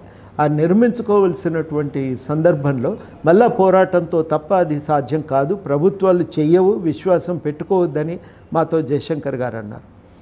ఇవాళ తప్పనిసరిగా అట్లాంటి ఒక నిర్మాణానికి మనం ప్రయాణం చేస్తున్నప్పుడు భిన్నమైన దృక్పథాలకు కూడా కొంత ఆస్కారం ఉంటుంది. అందువల్ల కూడా అక్కడక్కడ కొంత విభేదాలు ఉండొచ్చు. కానీ ఏది ఏమైనా గత ఆరు నెలల పాటు ఆరేండ్ల పాటు తెలంగాణ నిర్మాణం కోసం మేము చేస్తున్న సంఘర్షణ ఏదైతే ఉందో ఆ సంఘర్షణ కారణంగా అనేక అనేక మంది వీరికి ఈసారి ఓ స్థానం ఇవ్వవచ్చు అనే ఒక ఆలోచనతోనైతే ఉన్నారు.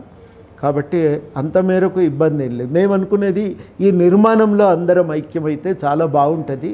ఒక ఏకాభిప్రాయంతో అందరం నిర్మాణానికి కనుక ముందు పూనుకోగలిగితే బాగుంటుంది అనేది నా అభిప్రాయం దానికోసం మేము అన్ని ప్రయత్నాలు కూడా చేసినాం. చాలాసార్లు మేము అడుగు వెనుకకేసైనా ఐక్యతకు ప్రా ప్రాధాన్యతనిచ్చినాం. కానీ వాళ్ళ సాధ్యపడలేదు. అయితే మేము కోరుకునేది ఏంటంటే టీఆర్ఎస్ యొక్క వ- వైఫల్యాల నేపథ్యంలో మనమందరం ఐక్యత ఇప్పుడు కోల్పోయినా కానీ మన ఘర్షణ మాత్రం టీఆర్ఎస్ యొక్క దుష్టపాలన మీద నిరంకుశ పాలన మీదే ఉంటుంది. దాని మీద ఈ పాలన జరుగుతున్న ఈ నేపథ్యంలో ఇక్కడ ఘర్షణ పడవలసిన అవసరం లేదు.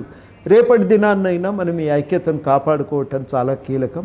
ఆ ఐక్యతను కాపాడుకోవటం కోసం మనం ఈ ఘర్షణ పడవలసిన అవసరం లేదనేది.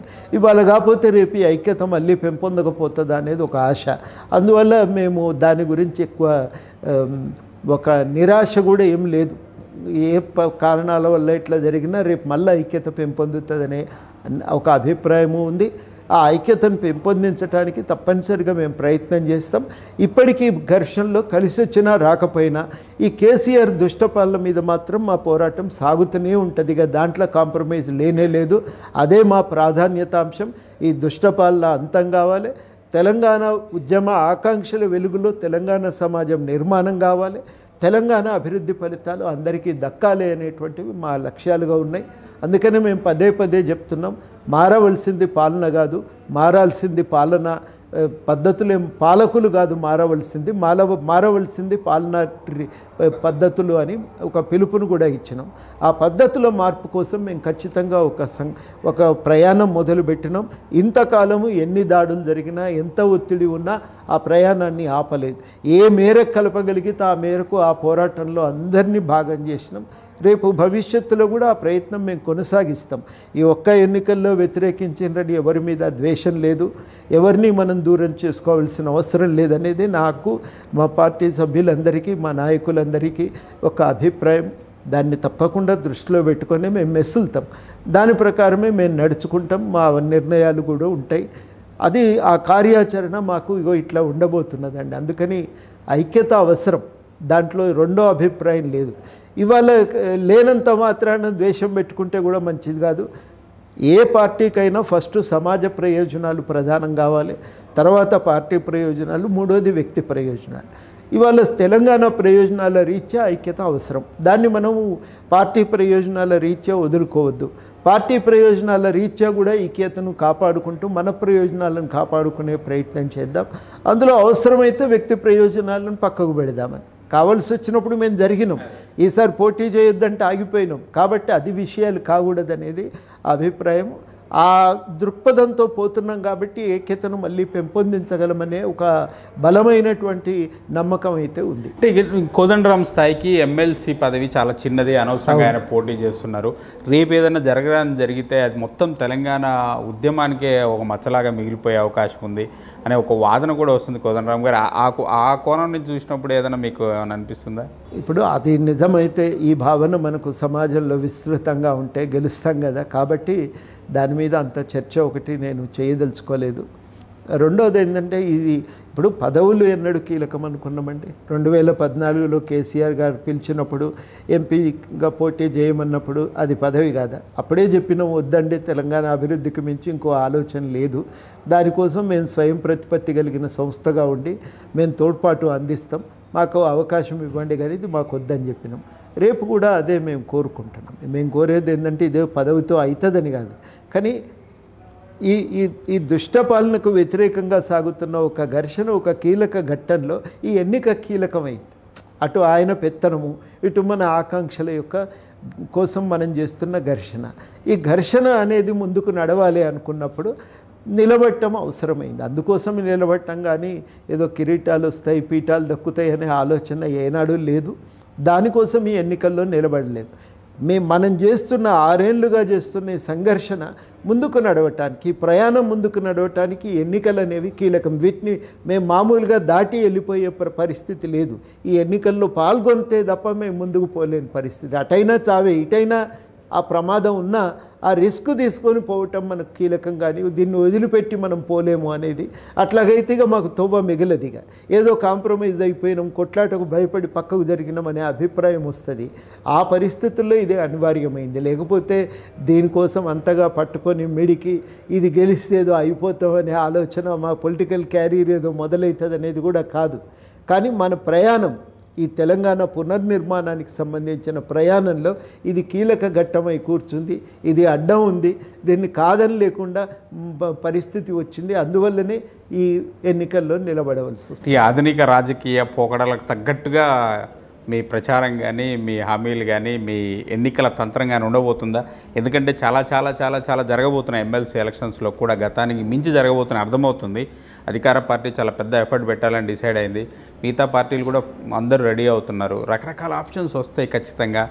ప్రలోభాలు ఉంటాయి అన్నీ వస్తాయి. మీ మీ పద్ధతులు ఏంటి ఎట్లా?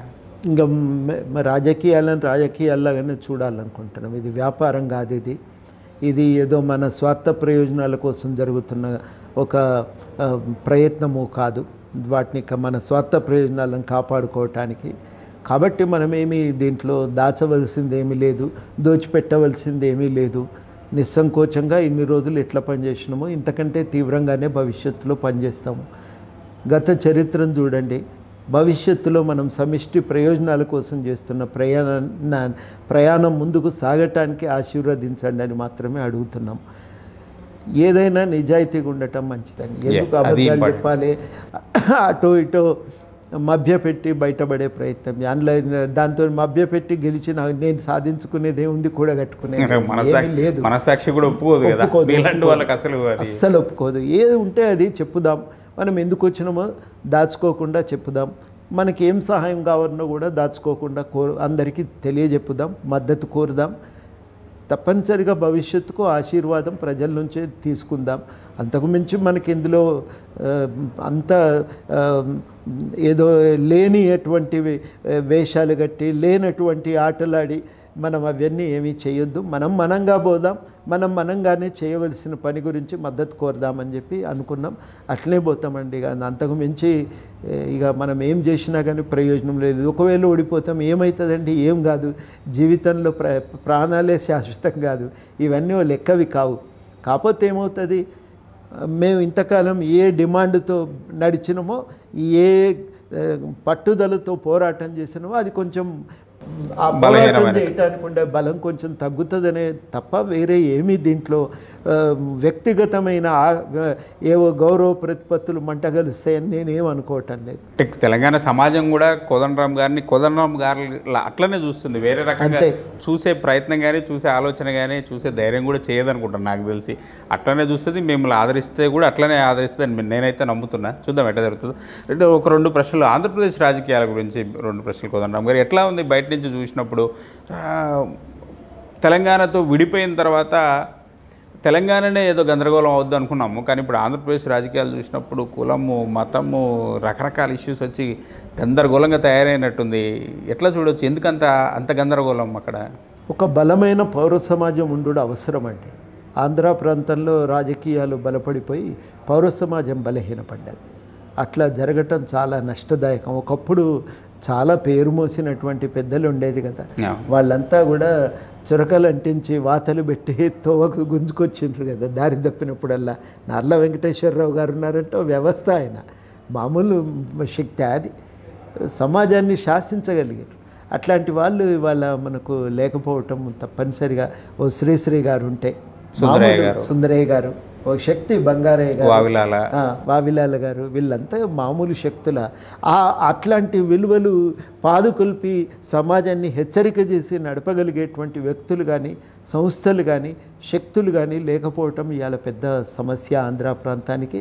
అట్లాంటి దాన్ని అక్కడున్న మేధావులు ఇప్పటికైనా విద్యావంతులు కూడబలుకొని వాటిని నిర్మించాల్సినటువంటి అవసరం ఉంది. కులాలకు అతీతంగా అందరికీ దాంట్లో స్థానం ఉండాలి. తప్పనిసరిగా దళితులకు ఆదివాసులకు వెనుకబడిన తరగతులు అందరు కలిసి ఆ సమాజాన్ని ప్రజాస్వామికీకరించడానికి అందరం కలిసి ఓ ప్రయత్నం చేద్దామని ఒక ఒక చోట చేరి ఒకటి చేస్తే చాలా బాగుంటుందని చెప్పి నేను ఒకటి నమ్ముతా ఉన్నా. అట్లాంటప్పుడు సమస్యల మీద చాలా మంచి చర్చకు అవకాశం ఉంటుంది. నాకు ఎప్పుడు బాధ అయిందంటే నేను అమరావతి వెళ్ళిన చూసిన అక్కడ రైతుల సమస్యలు పాపం ఇవాళ ఇదయ సమస్య అని చెప్పగలిగేటువంటి వేదిక లేదు. అయితే ఈ పార్టీ ఆ పార్టీ మధ్యనే వాళ్ళ అవగాహనల నుంచి చూ- చూస్తున్నారు తప్ప కానీ ఆ రైతుల కోణం నుంచి సమస్యను అర్థం చేసుకునే ప్రయత్నం జరగటం లేదు. నేను మా మిత్రులకు చాలామందికి ఫోన్ చేసిన ఇది అన్యాయము. భూమి వాళ్ళు ఇక్కడ మన- క్యాపిటల్ సిటీ పెట్టమని వాళ్ళు అడగ అడగలేదు. భూములు పోయి మాయకుమేముగా భూములు ఇస్తామని అడగలేదు వద్దని కొట్లాడినరు. ఇవాళ ఆపుతామంటే నష్టపోతున్నాం కదా అని ఇప్పుడు బాధతో మాట్లాడుతున్నారు. మీరు ఇవి చర్చించకుండా వదిలేస్తే ఎట్లా అని నేను చాలామంది విశాఖపట్నం నుంచి అనంతపురం దాకా బోల్డ్ మంది తెలిసిన ఫ్రెండ్స్కు ఫోన్ చేసిన ఏదన్నా చెయ్యండి వెళ్ళండి అధ్యయనం చేయండి అని చాలామందికి చెప్పిన. అట్లాంటి ప్రయత్నం జరగాలండి. జరిగితే ఏమవుతుందంటే ఆ రాజకీయాలు ఇంకా కొంత పెంపొందటానికి అవకాశం ఉంది. చాలా చాలామంది చేయొచ్చండి ఈ ప్రయత్నం. ఇప్పుడు మేము ఒకప్పుడు పౌర హక్కుల సంఘంగా విద్యావంతుల వేదికగా పౌరస్పందన వేదికగా అట్లాంటివి పని చేయగలిగేటువంటి వేదికలు ఇవాళ ఆంధ్రకు చాలా అవసరం.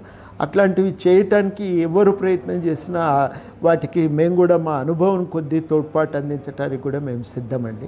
ఇప్పుడు ఈ అభివృద్ధి వికేంద్రీకరణ పేరుతో ఒక మూడు రాజధానులు ఇప్పుడు ఆ రాజధానిని ఇక్కడి నుంచి తరలించడానికి అక్కడ ఏర్పాటు చేయడానికి ఇక్కడ ఇంకోటి ఏర్పాటు చేయడానికి ఈ ఇది ఇది గందరగోళానికి దారి తీస్తుంది అనుకోవచ్చా? లేకపోతే నిజంగా ఆయన చెప్తున్నట్టు అభివృద్ధి వికేంద్రీకరణ అవుద్దని నమ్ము నమ్మొచ్చా?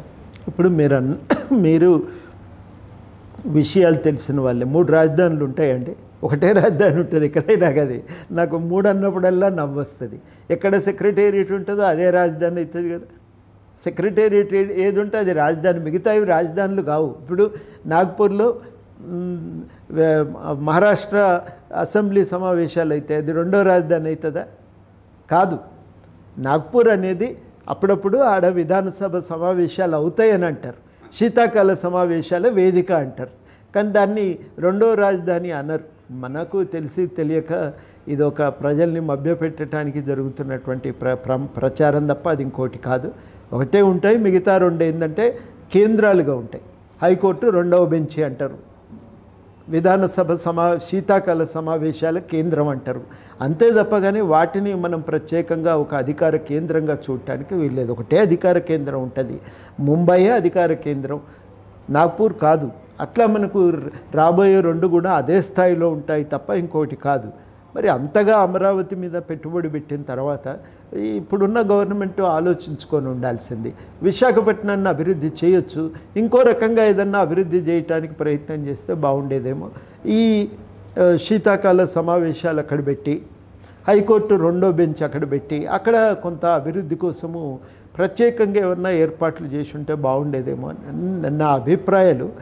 అట్లా ఇంకా అధ్యయనం చేస్తే ఇంకా కొంత కూలంకుషంగా చెప్పడానికి అవకాశం ఉంది.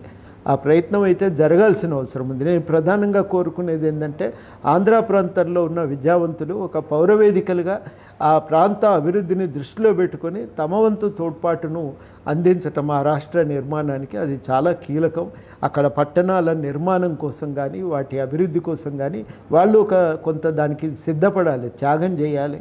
అప్పుడే ఆంధ్రప్రదేశ్ బాగా అభివృద్ధి చెందుతుందని నేను నమ్ముతున్నాను. అంటే చంద్రబాబు సెంట్రిక్గా తెలుగుదేశం పార్టీ సెంట్రిక్గా ఏమైనా పాలిటిక్స్ జరుగుతున్నాయా? ఆ పార్టీని డైల్యూట్ చేయడం చంద్రబాబు నాయుడిని డైల్యూట్ చేయడం చేస్తే రాజకీయంగా మనం పూర్తి స్థాయిలో నిలదొక్కునే అవకాశం ఉంటుంది చితగొట్టేయచ్చు అవతల పార్టీని లోకల్గా సెంటిమెంట్స్ క్రియేట్ చేయడం ఇట్లాంటి ఆలోచనతో ఏమైనా జగన్మోహన్ రెడ్డి ముందుకెళ్తారు అనుకోవచ్చా ఉంటుంది ఆయనకు తప్పనిసరిగా తెలుగుదేశం పార్టీ లేకుంటే. అధికారం నిలబడుతుందనే ఆలోచన ఉంటుంది కదా సహజ రాజకీయాల్లో. కానీ అర్థం చేసుకోవాల్సింది ఏంటంటే అది వ్యక్తుల వల్ల వచ్చిన రాజకీయాలు కావాలి ఒక సమాజ పరిస్థితుల నుంచి పుట్టినవి అనేది అర్థం చేసుకుంటే ప్రత్యామ్నాయాలను వెతుక్కునేటప్పుడు రాజకీయాల్లో భవిష్యత్తును ప్రణాళిక వేసుకునేటప్పుడు వీలవుతుంది. లేకపోతే నష్టం జరుగుతుంది. ఆయనకు నష్టం జరుగుతుంది ఆంధ్ర ప్రాంతానికి నష్టం జరుగుతుంది. రైట్. అంటే తెలంగాణలో రెడ్లని ఆంధ్రలో కమ్మల్ని తొక్కేయడానికి వాళ్ళని ఈ ఫ్రేమ్ మెయిన్ ఫ్రేమ్ నుంచి పక్కకు జరపడానికి ప్రయత్నాలు జరుగుతున్నాయి. ఆ సెంట్రిక్గానే పాలిటిక్స్ జరుగుతున్నాయి. ప్రభుత్వాల పాలన కూడా అటువైపే నడుస్తుంది అనే ఒక ఒపీనియన్ వినిపిస్తుంది కోదండరామ్ గారు మీకు తెలియంది కాదు. నిజమేనా? అట్లాంటి ఆలోచన ఉం- ఉందా? ఉంటే సక్సెస్ అవుతుందా అట్లా కుదరదండి. ఏదైనా కులం అనేది ఒక మూసలో పోసినట్టు ఏకశిల సదృశ్యంగా ఉండదు. ఇప్పుడు ఆర్థిక రంగం అనేది సమాజం అనేది మారిపోతున్న నేపథ్యంలో అంతర్గత వైవిధ్యత అనేది చాలా ఉంది. అక్కడ స్థానికంగా ఉండే రాజకీయ పరిణామాలను బట్టి అవి రకరకాలుగా అందులో ఉన్న శక్తులు దా స్పందించే అవకాశం కూడా ఉంది. అందుకని ఒక ఘాటి గట్టి చూడటం కుదరదు. ఒక ప్రధానమైనటువంటి ఒక ఆర్థిక పరిణామాల నేపథ్యంలో అందరు కొంద అందులో ఉన్న కొందరు వ్యక్తులు ఒక పాత్ర బలంగా పోషించడానికి అవకాశం కలిగితే కలగొచ్చును కావచ్చు కానీ అది కేవలము ఆ వ్యక్తులను ప్రధానం చేసుకొని ఆలోచించినా నష్టమే. ఆ కులాన్ని ప్రధానం చేసుకొని ఆలోచించినా నష్టమే. స్థూలంగా అప్పటికి వస్తున్న సామాజిక ఆర్థిక పరిణామాలను ప్రధానం చేసుకొని ఆలోచించటం చాలా కీలకమవుతుంది. అది నా దృష్టిలో అట్లా ఆలోచించాల్సిన అవసరం. అందువల్ల ఏమవుతుందంటే ఆ రాజకీయ పరిణామాలను కావాలనుకున్న ఈ ప్రభుత్వాలు తుడిచిపెట్టడం సాధ్యం కాదు. వాళ్ళు కోరుకునేది కూడా అవే పరిణామాలు కదా. ఆ పరిణామాలను తుడిచిపెట్టడం సాధ్యం కాదు. అక్కడ ఒకరిని తీసి ఇంకో వ్యక్తిని తెచ్చిపెట్టి కూర్చోబెట్టడం కూడా అంత తొందరగా అయ్యే పని కాదు. అదో చరిత్ర క్రమంలో వచ్చినటువంటి పరిణామం. మూడోది ఏంటంటే ఈ ప్రతిస్పందన అనేది దాని ప్రాతిపదికన కాకుండా ఆంధ్ర ప్రాంత సమాజ ప్రయోజనాలను స్థూల సమాజ ప్రయోజనాలను దృష్టిలో పెట్టుకొని ఆలోచించగలిగితే ఒక సమాధానం అనేది హేతుబద్ధమైన సమాధానం అనేది దొరుకుతుంది. అట్లా చేయగలిగితే ఏమవుతుందంటే ఒక సార్వజనీనమైన మా విద్యావంతులు సార్వజనీనమైనటువంటి ఒక ప్రయోజనాలను మనం నిర్వచించుకోవటానికి ఆస్కారం ఉంటుంది. పార్టీలు ఏవొచ్చినా వారు సామాజిక పునాది ఏదైనా ఆ ప్రయోజనాలను కాదనే పరిస్థితి కాదన్న లేని పరిస్థితి వాటిని పక్కకు పెట్టే పరిస్థితి ఇక సాధ్యపడదు. అట్లా మనం సమాజాన్ని నిర్మించుకోవటం మంచిదని నేను అనుకుంటున్నా. అట్లాగైతేనే రాజకీయ సుస్థిరత ఉంటుంది. దీర్ఘకాలిక అభివృద్ధి సాధ్యమవుతుంది. అందరూ భాగస్వాములు కావాలి. అందరికీ ఫలితం దక్కాలి. ఆ- అంత చిన్న విషయం అది అనుకోగలిగితే ఉన్నోళ్ళను మనం ఎవరిని ఇబ్బంది పెట్టకుండా చేయవలసిన పనులు అన్నీ చేయటానికి ఆస్కారం ఉంటుంది. ఆ రకంగా ఆలోచించటమే మంచిదని నేను బా చాలా గట్టిగా నమ్ముతా ఉన్నా.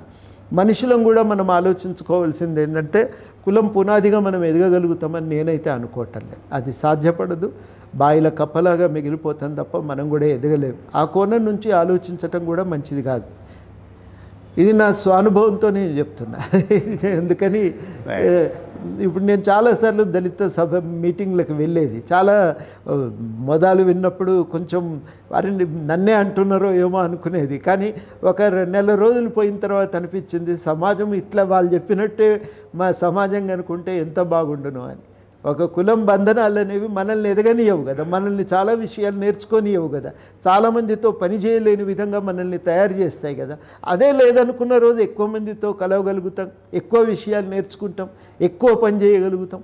కాబట్టి మనకు కూడా దానివల్ల వచ్చే ప్రయోజనం ఏం లేదు అనుకున్నప్పుడు మొత్తం సమాజ ప్రయోజనాలే మన ప్రయోజనాలు అనుకున్నప్పుడు దీనికి వెళ్ళి దాటుతాం కదా. అంబేద్కర్ లేడా గాంధీ లేడా నెహ్రూ లేడా ఎంతమంది లేరు. మనం మాత్రం వాళ్ళకి ఎందుకు పోవని అనుకుంటే చాలా మనం చేయగలుగుతాం. మనం మన మనం కూడా ఒక పాత్ర విశాలమైన పాత్రలో దాన్ని మనం ఎంపిక చేసుకోగలుగుతామని నేను అనుకుంటున్నా. అట్లా ఆలోచించాలి. అట్లా ఆలోచించకుండా సంకుచితత్వం నుంచి పోతే చాలా నష్టం జరుగుతుంది. మనకు నష్టం జరుగుతుంది సమాజానికి నష్టం జరుగుతుంది. అంటే చివరిలో ఒక మాట అభివృద్ధి పేరుతో వేల కోట్ల రూపాయలు జనం జేబుల్లోకి వేసే ప్రక్రియ ఆంధ్రప్రదేశ్లో బాగా జరుగుతున్నట్టుంది. ఏదో ఒక పేరుతో పదివేలు ఇరవై వేలు ఇరవై ఐదు వేలు ఏదో రకంగా జనం దగ్గరికి డబ్బు పంపిస్తున్నారు. దాన్ని చాలా గొప్పగా కూడా అక్కడ గవర్నమెంట్ చెప్తుంది. జగన్మోహన్ రెడ్డి గారు చెప్తున్నారు అది సరి అయిన క్రమమైన పద్ధతి అయినా దాన్ని అట్లా చూడొచ్చా? ఆర్థికంగా బలవంతం బలం బలోపేతం చేస్తే వ్యక్తులని సమాజం పూర్తి స్థాయిలో బాగుపడుతుంది అనుకోవచ్చా? దాన్ని ఎట్లా ఏదైనా బతుకుదెరు అవకాశాలు ఇనుమడింపజేయాలండి మనిషి ఆత్మగౌరవంతో బతకాలి. అమార్త్య సేన్ గారు చెప్పిన అట్లాంటి మార్పుకు దోహదపడగలిగే విధానం అయితే అది కరెక్ట్ అవుతుంది లేకపోతే లేదు. ఆ దాన్ని మనం గేట్రాయిగా పెట్టుకొని చూద్దాం. పనికి రాదనుకుంటే తీసేయాలి.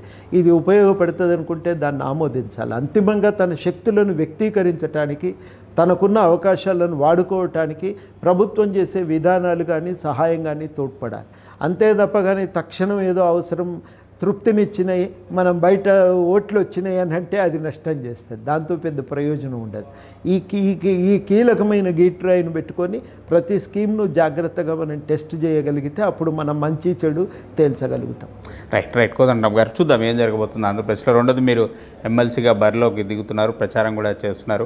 ఖచ్చితంగా ఈ ప్రత్యక్ష ఎన్నికల్లో చక్కటి విజయం సాధించాలని కోరుకుంటున్నాం. థ్యాంక్ యూ వెరీ మచ్ అండి ఇంటర్వ్యూ ఇచ్చినందుకు.